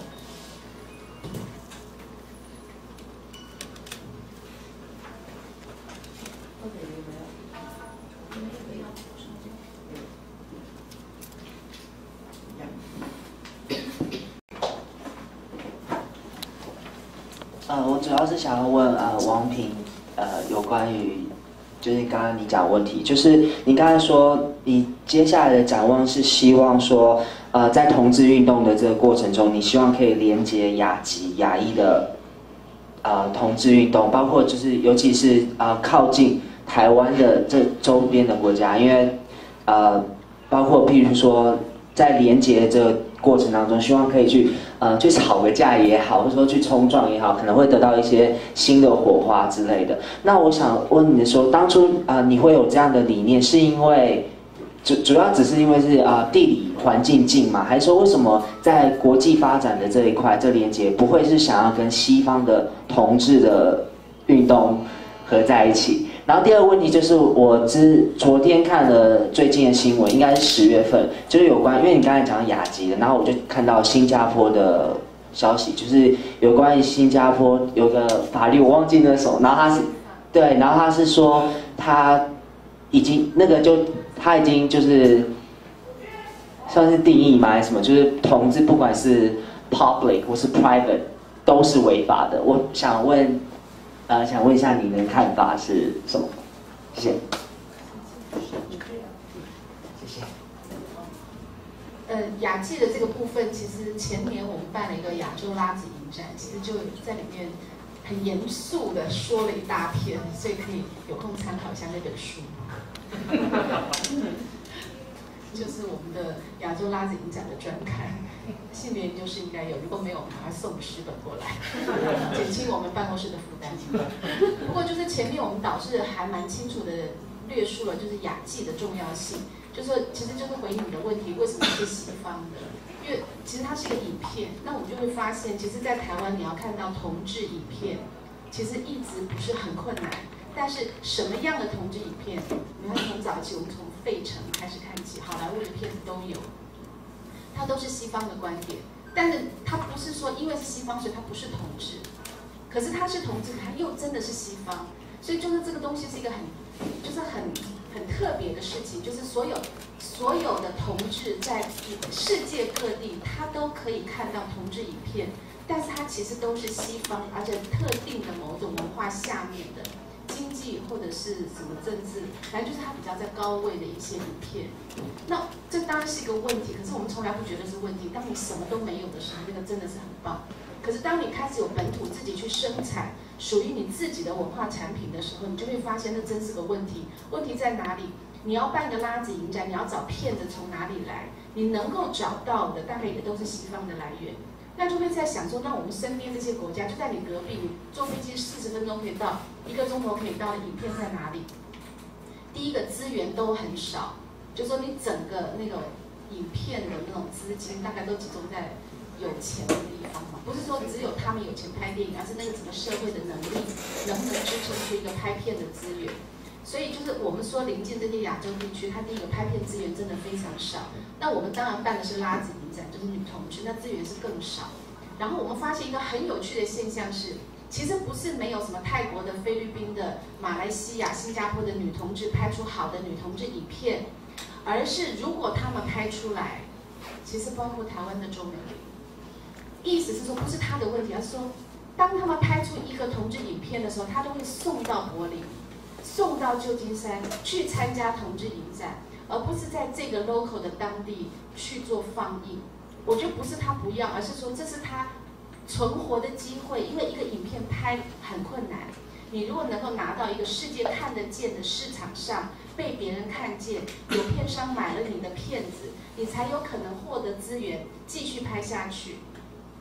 所以这是他们必须养自己的一个方式。可是也就是形成你能够看到的影片，为什么都是西方？而且这些亚洲地区的影片也只有在西方看得到。就会发现我们在搜寻那些搜寻影片的时候，你在美国可以看到所有世界各地甚至很小的一个地方拍的影片，可是你在那个 local 的当地是不能看见的。没有，这是当时我们的一个想法，也觉得这真是一个重要的事情。那我们更是应该要让我们的资源能够彼此交换，所以我们才会在有限的资源之下邀请了亚洲各地的拍片的人。然后有些人的片子大概是在他的国家还不能放，是第一次被放映，可能是在台湾。当然，相对台湾也是稍微啦，就是资源多一点点的地方。可是当你有一点点资源的时候，我们是要做什么样的影片放映？这是当时的一个想法。其实我忘了你另外一个问题，啊，还新加坡那之间吧哈，那就是在关某一天的某某几天以前嘛，一个礼拜之内的事情。对，一两个礼拜。它其实是这样的一个刑罚，在世界各地都是有的，针对针对一种性行为，那个性行为是口交和肛交，就是新加坡它是说，针对异性恋之间如果进行口交跟肛交，它合法化了，就是等于是去刑法化了，但是对同志之间的口交跟肛交依然是有刑罚的，其实它是这样。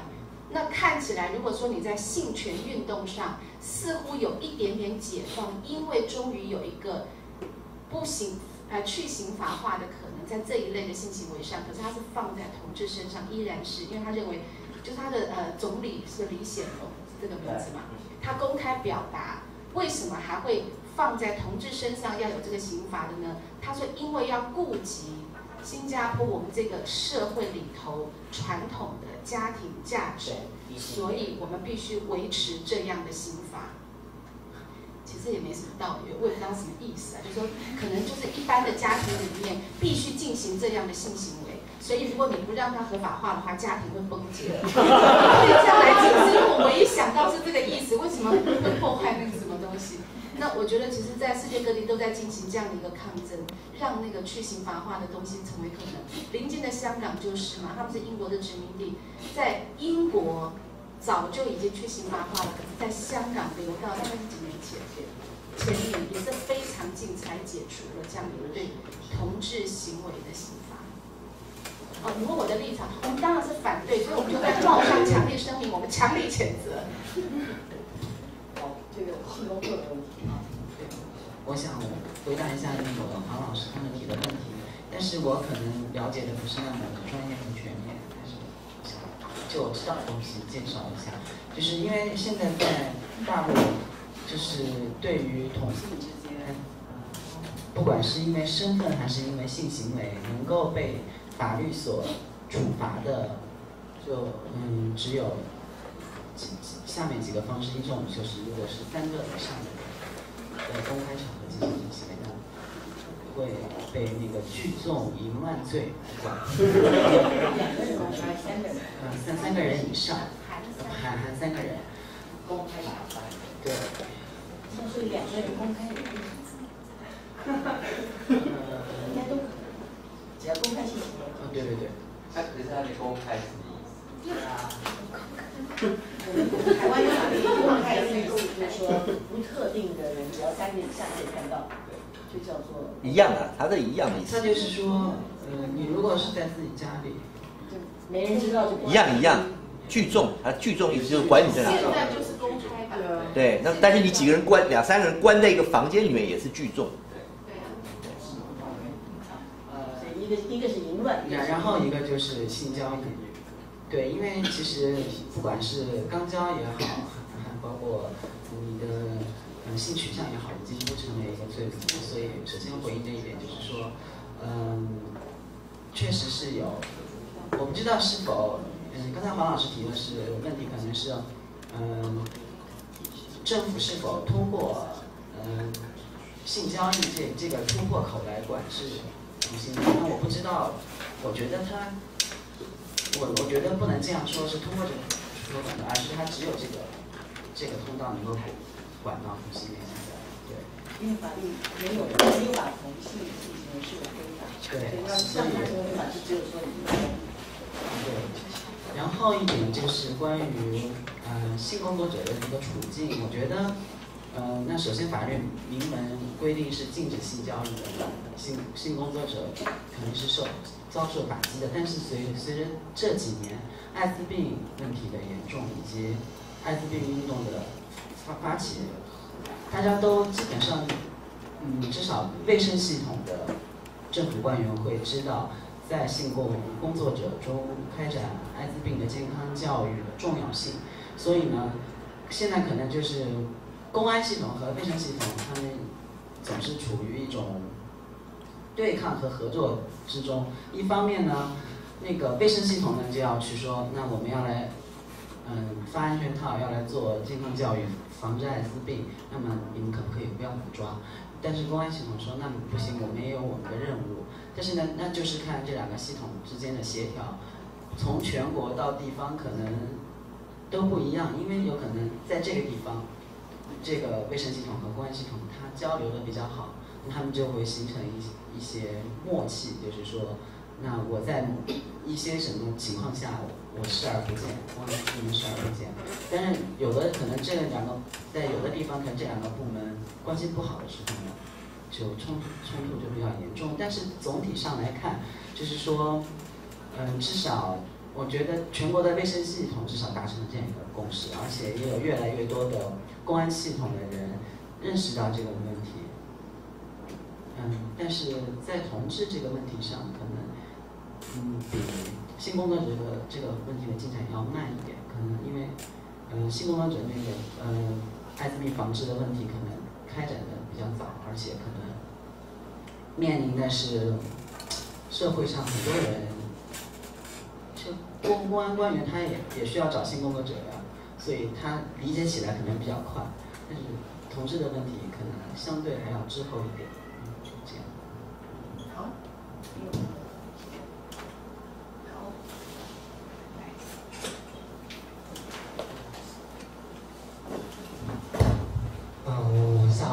比较技技术面的问题，嗯，第一个就是我想问一下，就是你刚刚说你的组织，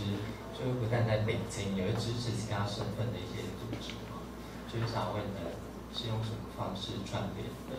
嗯，然后第二个部分是就是台湾，嗯，就是嗯，我想要知道就是嗯，就有关于那个呃台湾同志团体面年龄差异的问题，年龄差。对，是 运动者和社群之间，就是可能存在的一些年龄差异，然后就是不同年龄层也会有不同的诉求，然后就想知道，嗯，怎么？没有吧，就是。怎么串联这个好中国这么大地方？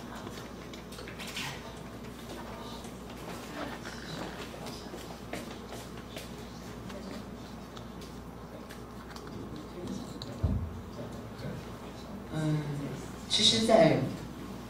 在中国，嗯，就是说，我们每年各种各样的会议真的非常多，所以要说同志组织串联起来，还真的不不是那么的麻烦，因为本来就是一个网络的时代，大家都会知道，在这个省有哪些同志的网站，基本上，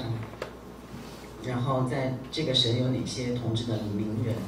然后因为现在在大陆其实。是有大量的资金涌入到同志的艾滋病防治领域的，所以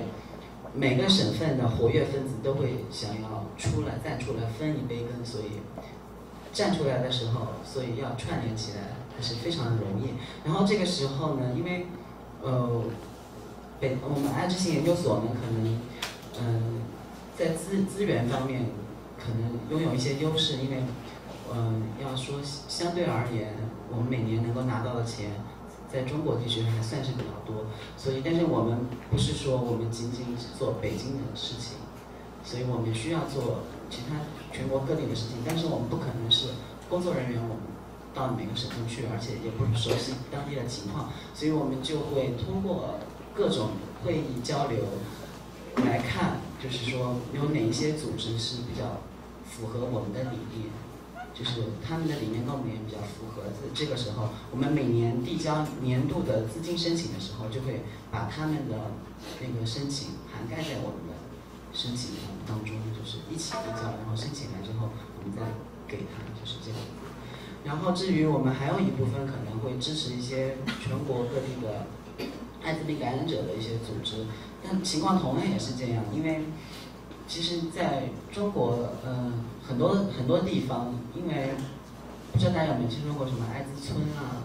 就是其实是由于，呃，当时的输血和卖卖血的问题，可能造成这个村子里面很多人都是艾滋病感染者，但是他们又很贫穷，然后又又饱受疾病的折磨，那他们怎么办？要活下去，就必须自己来救自己。那他们嗯，就会慢慢的形成一些感染者的自救组织，然后这种形式一被其他人知道之后，大家就竞相学习，所以其实遍布全国是有很多这种感染者自救组织。那同样，国际的资金到了中国之后也是要分下去的，那慢慢就有各种各样的培训，因为。可能他们不知道怎么样做一个 NGO 的机构，那就是很多国际组织也好，包括国内组织，很多项目都会说培养这些呃领头人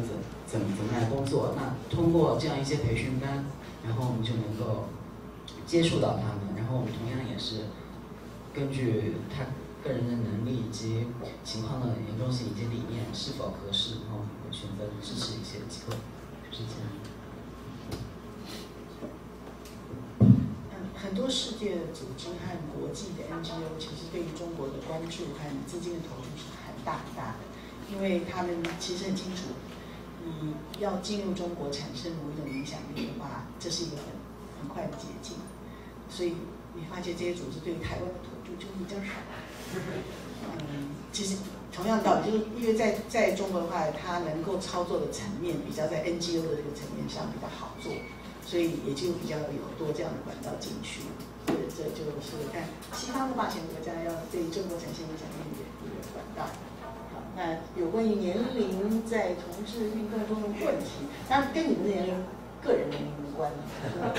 运动上面会不会会不会有有这种代间差距啦，或者其他的？比方说年轻一辈的同志可能不能理解你们这一辈运动者的想法啦之类的。如果说何老师解释了之后，就跟你第一句话就冲突了，说跟你的年纪没关，可是又在问是有代间差距，所以重点是不，重点是你的问题意识是在说组织工作者之间跟群众的年龄差异，还是在组织工作者的不在组织的工作里面，是不是你觉得有一些年龄层的议题是被忽略的？我们没看到青少年议题，没看到老年问题，你是哪一块？你都回答，都可以。简单。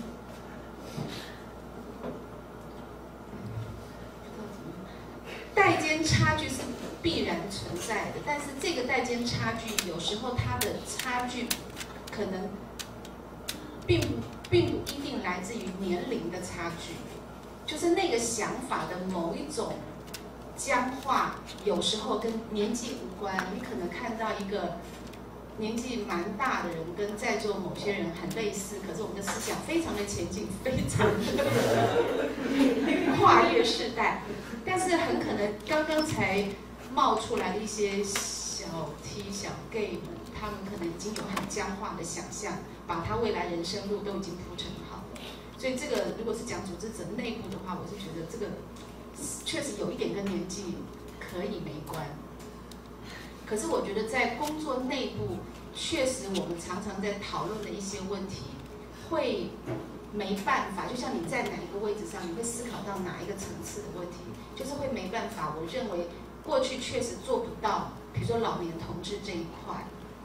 那一直以来很想做青少年同志的这一块，像很早以前热线就有一个那个什么拉拉机机之类的，拔拉机，就一直想做青少年同志，想进入高中的校园，但是这个不是那么容易。我觉得反过来讲，另外一块可能跟同志运动不一定有关。我觉得整个台湾就比较少一个力量是青少年运动，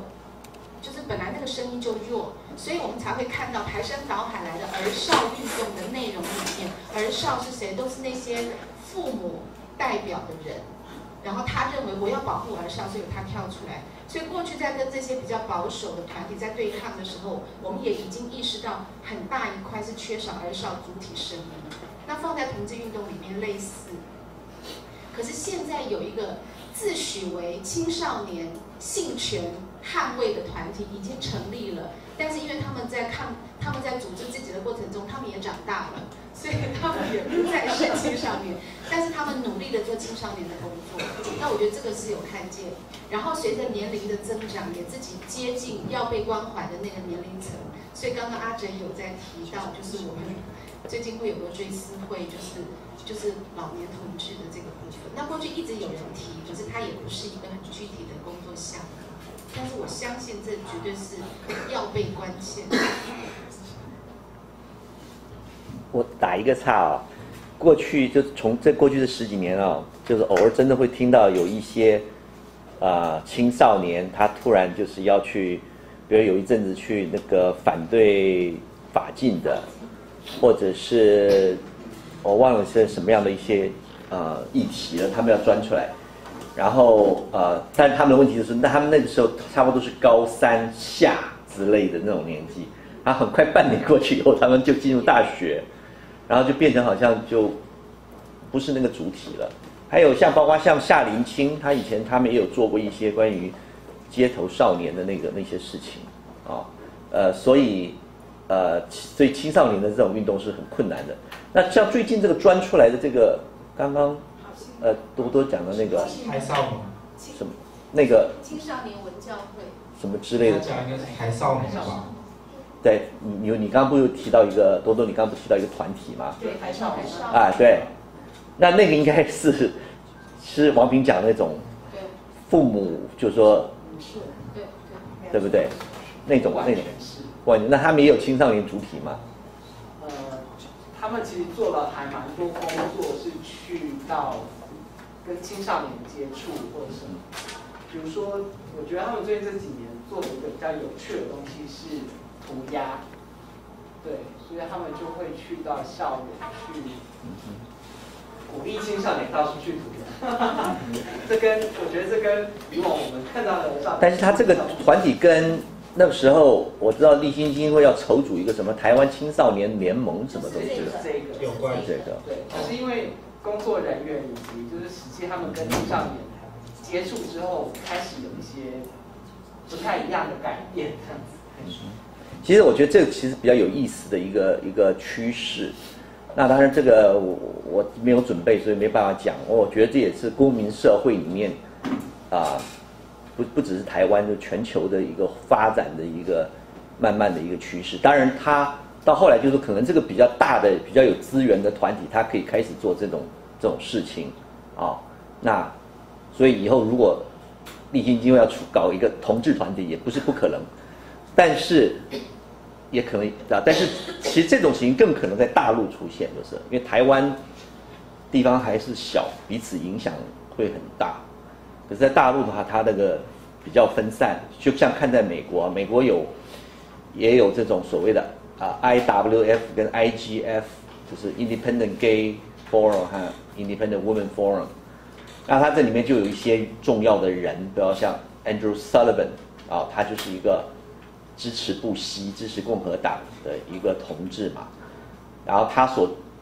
做的一些事情，就是说他反对很多同志的一些呃酷儿化的这种路线啊，对不对？就是这这一类的。所以我觉得这个这个东西其实也也也也在，我觉得在中国大陆在未来也非常有可能，因为它的国家非常大，所以它的那种一直性、差异性会很多。所以我觉得这也是蛮值得观察的，就是一个趋势。其实一个很大的可能性就是，出埃及协会有可能会成立一个同志，组织叫做前同志、悔改过的同志组织之类的，然后来进行对同志文化的一种一种介入。这都是未来可能发展，就大家可能不要把同志运动或同志运动的方发展方向统一化，因为它有可能有其他成分出来。你想要讲什么？我可以，我很快，我先回应那个宝卡刚提的一个东西。我我其实是真的认为，我觉得台湾没有小孩主体，就是连运动内部，我自己深刻的感受，比如说像我们在参与一些组织，我很快会听到跟我们一起工作的年轻的伙伴们，突然就会说啊，那我们是小孩，那你们大人才能做决定。就是即使是像各位，就是我们一起在工作，我们要做一些决策，碰到一些困难，碰到一些问题，他会说，哎，都是我们小孩，你们大人不在，说我们什么问题没有办法解决，你们出来就搞定。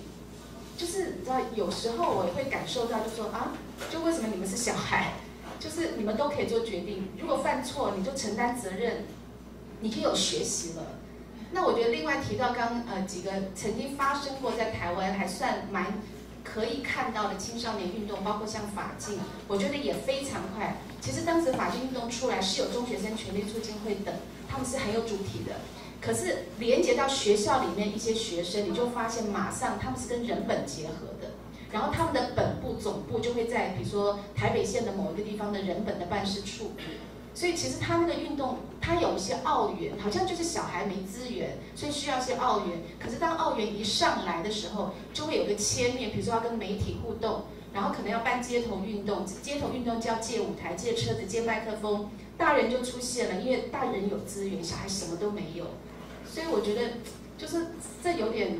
不知道鸡生蛋还蛋生鸡，就小孩没资源，所以就没主体吗？还是说那个主体可以让他长出什么东西？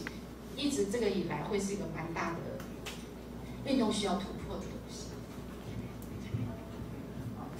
我就是想到刚才那个何老师说到那个 X gay 的那那个事情，因为在北京就是前一阵子就有一个嗯教会组织，不知道怎么就。到到了北京要办一个这样的，嗯，一个一个这样的会，然后我们知道之后还还跟爱白啊、童宇一起做了蛮多准备的，我们就马上让我们的人报名说要潜入那个会议，然后再想到在他的那个会议的对面只开一个我们的会议啊，来对着他讲我们的东西啊，但是结果后来他也没办成，不知道为什么。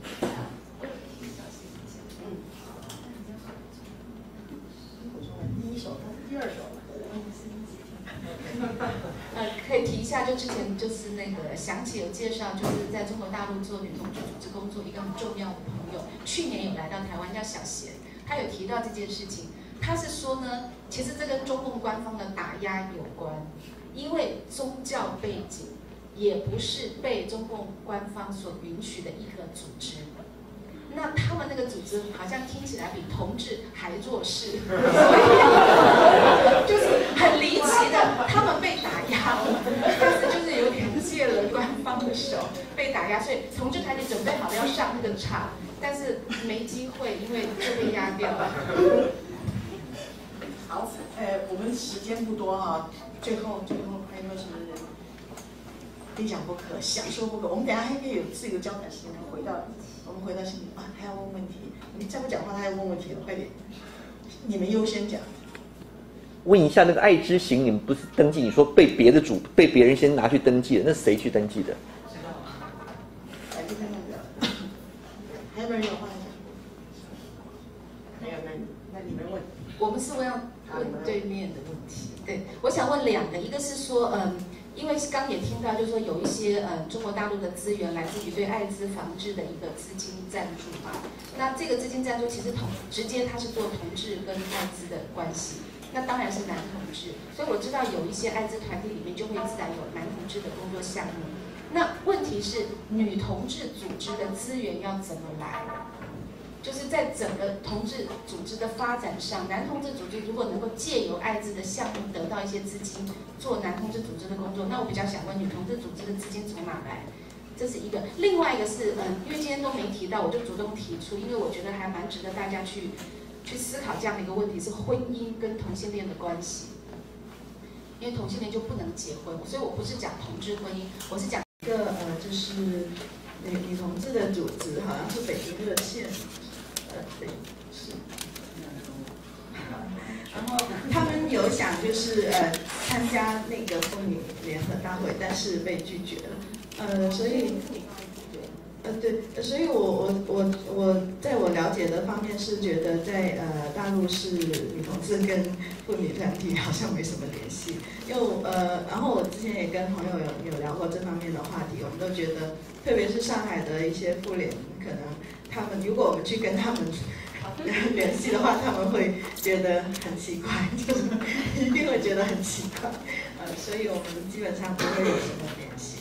那呃，但是有一些在上海有一些呃女权主义的研究学者，还有呃就是复旦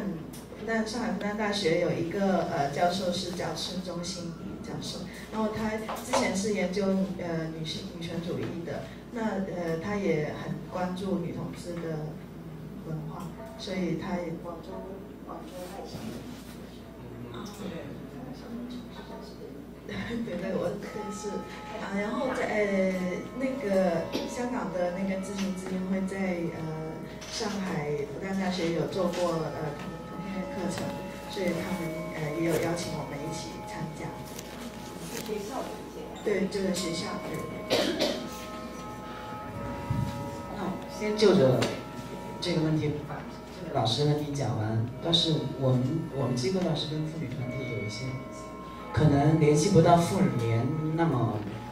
官办的那那那种组织，但是我们跟什么红枫妇女热线啊，就是那民间那些妇女团体一起有一些合作。因为我们有一个项目开展了三年，叫做反家暴，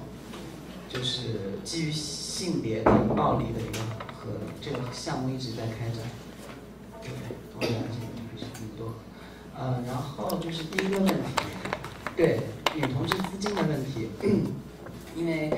因为主要的现在可能在大陆比较有名的可能就是同嘛，但是贤现在没有就是我们算是跟贤合作的比较密切的一个，所以我觉得我可可以可能可以回答一点点，就是确实是在嗯目前的这个状况下，要拿到艾滋病的钱非常的容易，但拿同志的钱就非常的难，至少。国内有艾滋病的经费，但是没有同志的经费，所以所有的跟同志议题有关的，只能从一些嗯同志的人权机构可以获得，但是那也不是那么容易。反正我知道嫌他们筹钱也非非常的难，就是最近他们有筹到一些，包括什么呃妈妈 cash 啊，yoga，可能可能都是他们通过去国际上参加一些会议，不断介绍自己，能够筹到一笔钱。但是呢，数量是非常有限的。然后，嗯，所以呢，我我我我们单位呢，基本上就是会从艾滋病的钱里面努力的挤挤其他的钱来做同志权益这部分，就是包括对最初他们没钱的时候给那个赖斯家杂志的钱啊，包括夏令营，就是反正可能好像。就是说，今年我记得我来之前，我们开了一个年度的资金预算的会议，然后就说，嗯，今年可以轻松一点。他说，因为嫌他们筹到一笔钱，就是不用我们负担这么多了，所以我们可能稍微轻松一点，可能可能是这样子。我想补充一点的是，我了解到的是，呃，除了呃张克刚才说的这些渠道，呃，还有一些，比如说云南和。成都的这些女同志的小组，呃，他们都是呃会加入男同志的组织，然后也是男同志就是会比较关心女同志，所以会呃尽量给呃拨一些钱出来给我呃女同志做一些事情。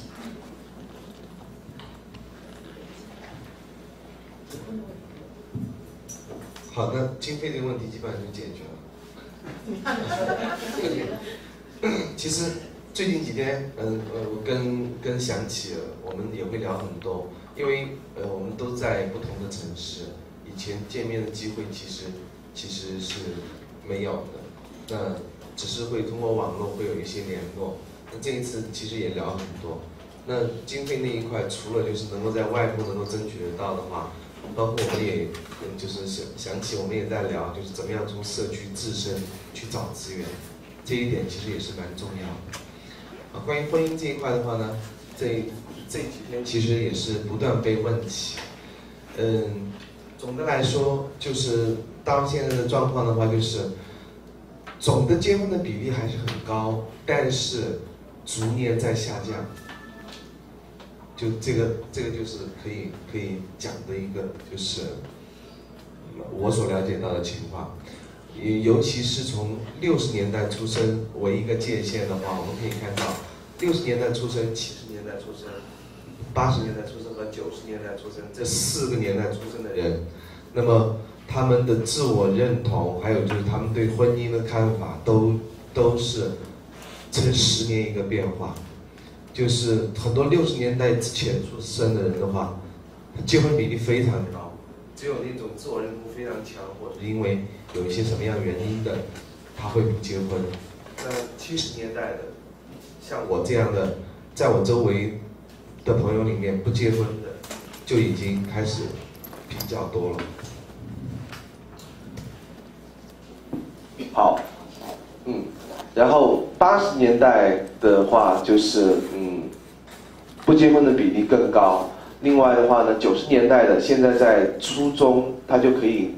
跟班上的同学讲他是同志，然后关系还处得比较好。当然，这或许只是个案，也会有那种讲的是出柜了以后，然后遭到歧视的，甚甚至会发生连锁反应的，都会有。但至少这些事情不可能发生在在就是八零年代和九零年代，可是现在发生了。所以婚姻的这个层面上来讲的话，会越来越接近华人社会的一个平均的水平，但是还还需要时间。然后年龄在机构的情况，我的年龄在我们机构算大的，是是，在我们机构里面算算大的。我们的志愿者基本上都是十八到二十五岁之内是居多的，对。我们有，当然当然，这是因为我们有百分之七十五的志愿者都是都是大学生，因为本身我们也是锁锁定这个群体为我们为我们培育的一个方向，对，就是这样的。然后与妇女团体很好玩的一件事情，就是呃可能呃可以需要介绍一下，在大陆我们把嗯公益机构分为两种，一种叫钢狗。啊，一种叫草根，呃，干狗的意思就是它是从政府团体、政府下面的这种，呃，呃，G O N G O，呃，G O N G O，嗯嗯，governmental，嗯，对，非常有意思，因为他们他们以前是，他们以前是呃国家。部门的政府部门的一个一个系统，现在呢要被转型出来，不能算公务员了，所以要被转型出来了。那么在转型当中的话呢，有的地方它可能会走得快一点，快一些，它就会接受一些新的一些东西。像刚才赵哥讲到的这个红凤，我们就有接触，嗯，红凤，嗯呃红凤工程，它是一个，嗯。啊，对，红枫我知道是北京的。那我们在在西部的话呢，也会跟其他的一些钢狗接触，一起参加培训，一起来提升能力。但是这是转型会比较快的。但是目前为止，大多数的机构转型还是会比较慢，就是它的反应能力还是比较差。所以，呃，从嗯大陆的 NGO 的圈子来说，一般我们我们对于钢狗来说是很不屑的。对他们实力很强，他们资金很强，可是他们能够做的事情很少，比起草根来说，所以这会是一个过程。但是刚狗在一定程度上还是发挥了他自身的优势，比方说，他可以把资金拿到手上，这些草根就就拿不到。对，这是这会是比较大的问题。所以，像像我们也会比较努力的去跟。凡是能够搭得上线的这些团体去搭线，包括妇女团体，在在四川的话呢，也有去接触，可是不容乐观，就是因为他们是拉干狗，他们自己还没反应过来，所以调整不过来，所以我们我们可能会更多的希望在大学里面去发现发现看，能不能找到更多的可以谈谈得到一起的伙伴出来，就这是我们的情况。哦，呃，我，我我可能能能谈的是那个年龄的问题，因为呃，其实我我我觉得，嗯，反正大陆现在呃很多事情，也不光是说呃做运动这一块儿，就很多问题都出现呃就是一种低龄化的热潮，大家觉得好像一个年龄比较小的人做出来的事情会让你觉得很新鲜，然后我有时候我呃别人说那个啊你二十二岁二十二岁出一本书好像很惊讶，但是我觉得。好像已经不那么在大陆已经很，就是好像现在有九十九十年代的人开始出书，所以我也觉得呃好像也不对于我来说也不那么稀奇哈。然后你我还可以列举我们平常在工作当中遇到的一些人，他们的年龄情况。我们认识一个那个呃北大北京大学大他当时上大二的一个人，那是在呃零五年的时候，他是八八年出生的，然后他。他是多少岁？这样算是十七岁。然后那时候好像刚成年吧，但是他人比较老，像看上去有二十八。然后他那个呃，他就是做那个呃同同性恋广播。然后他第一期请的就是李银河，后来也有也有请那个，就是因为他请崔崔子老师去，然后我们才认识的。他就做呃一系列的东西，后来播了大概有三四期吧，就被呃他是在校园里面那种大大喇叭来来播出的。然后后来就。学校就跟他说：“你，嗯，最好还是不要继续做这个事情了。”他，但是他一直热情都特别高，就是看你在呃几乎任何场合都能看见他。然后，哦，我们前段时间还遇到一个呃那个一起吃饭，他是他是上海交交通大学，他们有那个也有电视电影艺术系，然后他们就有一个人他在拍呃同性恋的片子，然后他家里好像挺有钱的，自己全都是自己投的。投了十几万，在去而且去武汉拍了一个又有谋杀又有情色，然后说，呃呃，最后因为他也长得比较老相，然后最后我们说，哎，你哪年生的呀？他说我八七年，然后呃正好崔老师在旁边就说，你看长江后浪推前浪，你都是老的啦，然后那 个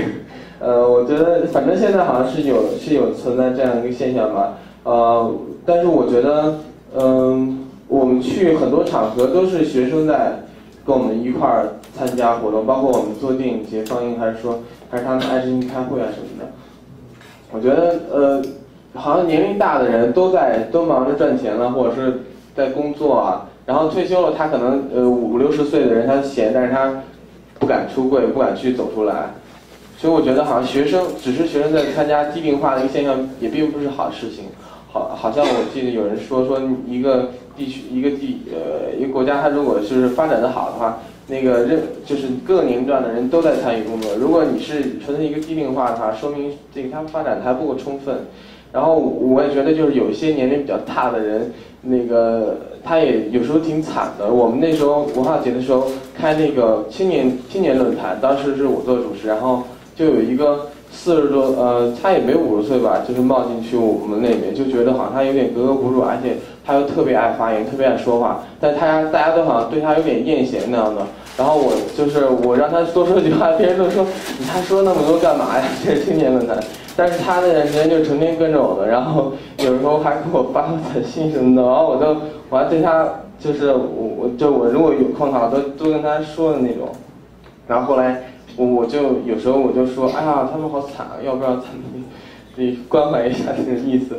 呃呃反正。我我来说，对于我来说的话，我觉得好像我一直在我所在的团体里面啊，都是一群比我大的老 gay，啊 我也，反正我好像因为我上学也也也早也早一些，所以好像整个班级里面我经常是年龄最小的人。然后，呃，我觉得对我来说，好像我特别，其实我反而会特别怕别人说注意我啊，他年龄比较小，他会不会在那个工作上面会不会？有什么样的啊？反正我我觉得有时候会，呃，我我不太让别人觉得我是那样。呃，就就于我们那个目前做的那个电影节的具体的工作来说，其实我那我呃，我就希望我如果呃年龄小呃就是这个嗯精力问题的话，我就希望如果能有最呃稍微基本一些，然后但是比较耗精力的工作的话，我都会。呃，勇敢的去承担它，比如说我们要联络名单啊，编场刊啊，然后呃校对英文啊什么的。但是呃，他但是如果决策性的问题，我还是会啊到处打电话问他们说你觉得怎么样？然后呃是这样的。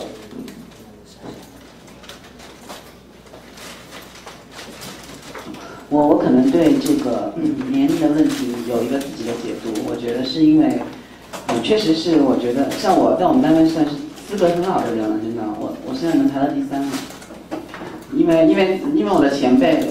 就是就是工作工作年限，对，因为因为之前的一些在我之前的也是一些年轻人，可能就比我大一两岁的人，他们都可能出来之后自己有成立一些新的机构，是这样。但是我我的解读是，我觉得我们这一代正好赶上了这个时候，就是说，嗯，包括开放的程度正好达到了这个程度，然后又正好恰好遇遇到了艾滋病问题以及这些资金的涌入，正好是在在这些年，然后所以我们这一代人就有这样一个机会，正好赶上这个事情，然后当然又年轻，就会觉得做这件事情特别的兴奋，而且有成就感，所以现在看来，确实，嗯，做这些运动的人还是以，嗯，七七七五年，我觉得可能到八八八零年这这个年纪为主。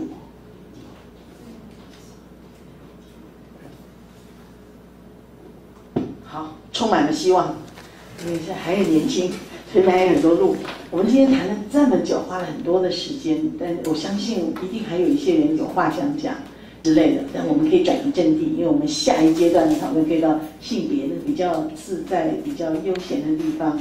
然后无论你是老 gay 也好，小 gay 也好，就在那个时候比较自在一点的相互沟通。我们今天特别的谢谢远道来的朋友，也还有台北来的朋友，也谢谢大家的光临。好，就是还要继续续花的，就请搬到性别去。然后那个可能两位工读生帮我们整理一下，请助理先从性别开始。我在填资料，如果大家需要的话。我我要讲一下，因为上面那个网址，但是这个网址可能是，可能是一些支持这个活动的人自己办的一些网址，所以我想把我们单位的网址就写一下，可能大家可以直接看到我们单位的网址。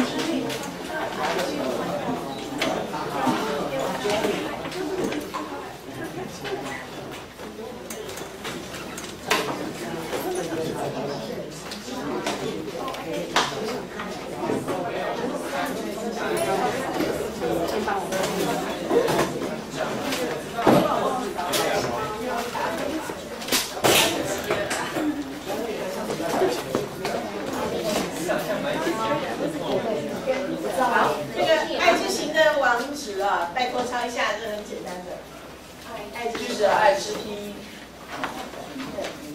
下面那个讨论部落格你可以多看多对对对。好，谢谢大家。我们就回到你知道什么？高铁吗？上海有人吗？对，我还没吃麻辣锅。没有人啊，连我都不知道理你。不是玉米建飞，刚刚的两岸三地的真好，因为我就说我不要发表了。你不是出国了吗？对啊对，就就推掉了。把你的名放上去。就把前面推掉了没？他是当然。我们有一整个 panel 够够了，这这种这种会，这 contribution 已经够太多了。而且你们自己诊所的那个那个 panel 整个散掉，然后打散，那好像大行业要成。不是，那是因为他们现在有点在吵架不和。你知道他们两个学的不容易。好，不能再见了。他干嘛海报说多多不能在一起，非常有趣。这件事情。没有，可是因为李瑞全原来也没有，原来也没有写那个。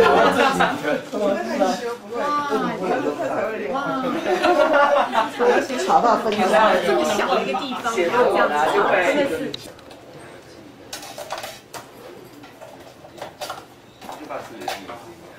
里面会想，虽然我觉得你们可以差不多傍晚的时候到淡水，所以之前可以先去故宫。你没法去的地方，没法去的地方才该去。少少。对啊，没法去。在我单位这一块工作。哇。哦。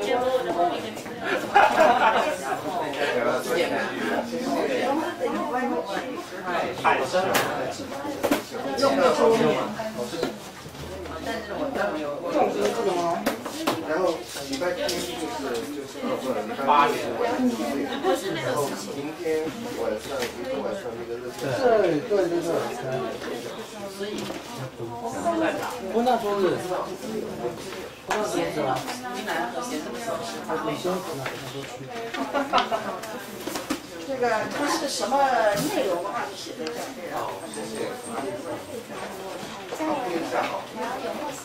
啊，拿这个布，好浪费啊因为，这个已经很久之前的活动。这个是电脑。那是什么海？那是什么海报？哦，那就就跟很多我们放过给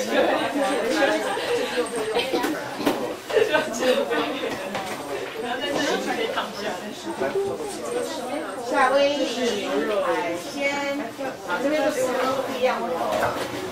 好，没关系。你们确定你们要坐在边上吗？主要这不是我的电脑，所以我不知道它。孟三，这个电脑它是自动关的是吧？他想查一下东西。可以，哦，有了，开了，开了。那你那你可以，那你现在。摇一摇就会醒了。那你上吧，上网。滑鼠摇一摇就醒了。来一个来这一下。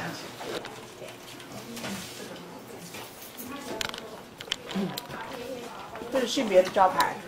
性别每个老师都爱吃这个口味，最喜欢吃这个口味。什么口味？是辣的。Mexican。这个是辣的。对对对，是辣的。那我要吃。嗯。好。好，终于看到你的真面目。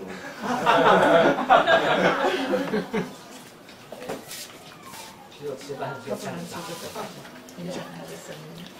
嗯嗯嗯。我吗？对。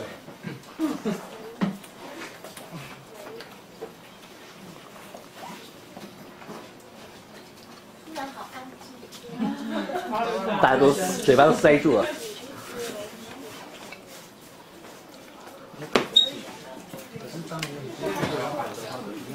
嗯，没有。刚刚跟雪儿还搭着一下。嗯。想要跟你要那个在先要在这边好，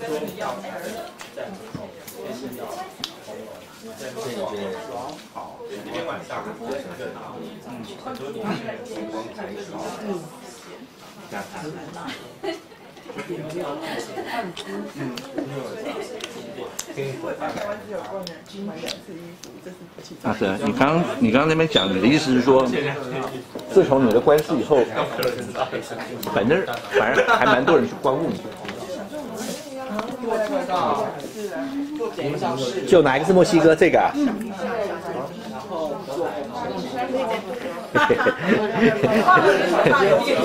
先拍拍你们。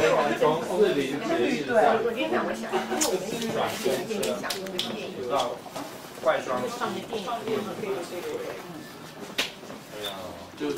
会就让我觉得。所以我们还需要找一个时间，嗯，去热线拿书，约一个什么样的时间去拿？这样。很久以前，应该说我们那个箱子的，是不是得买个箱子？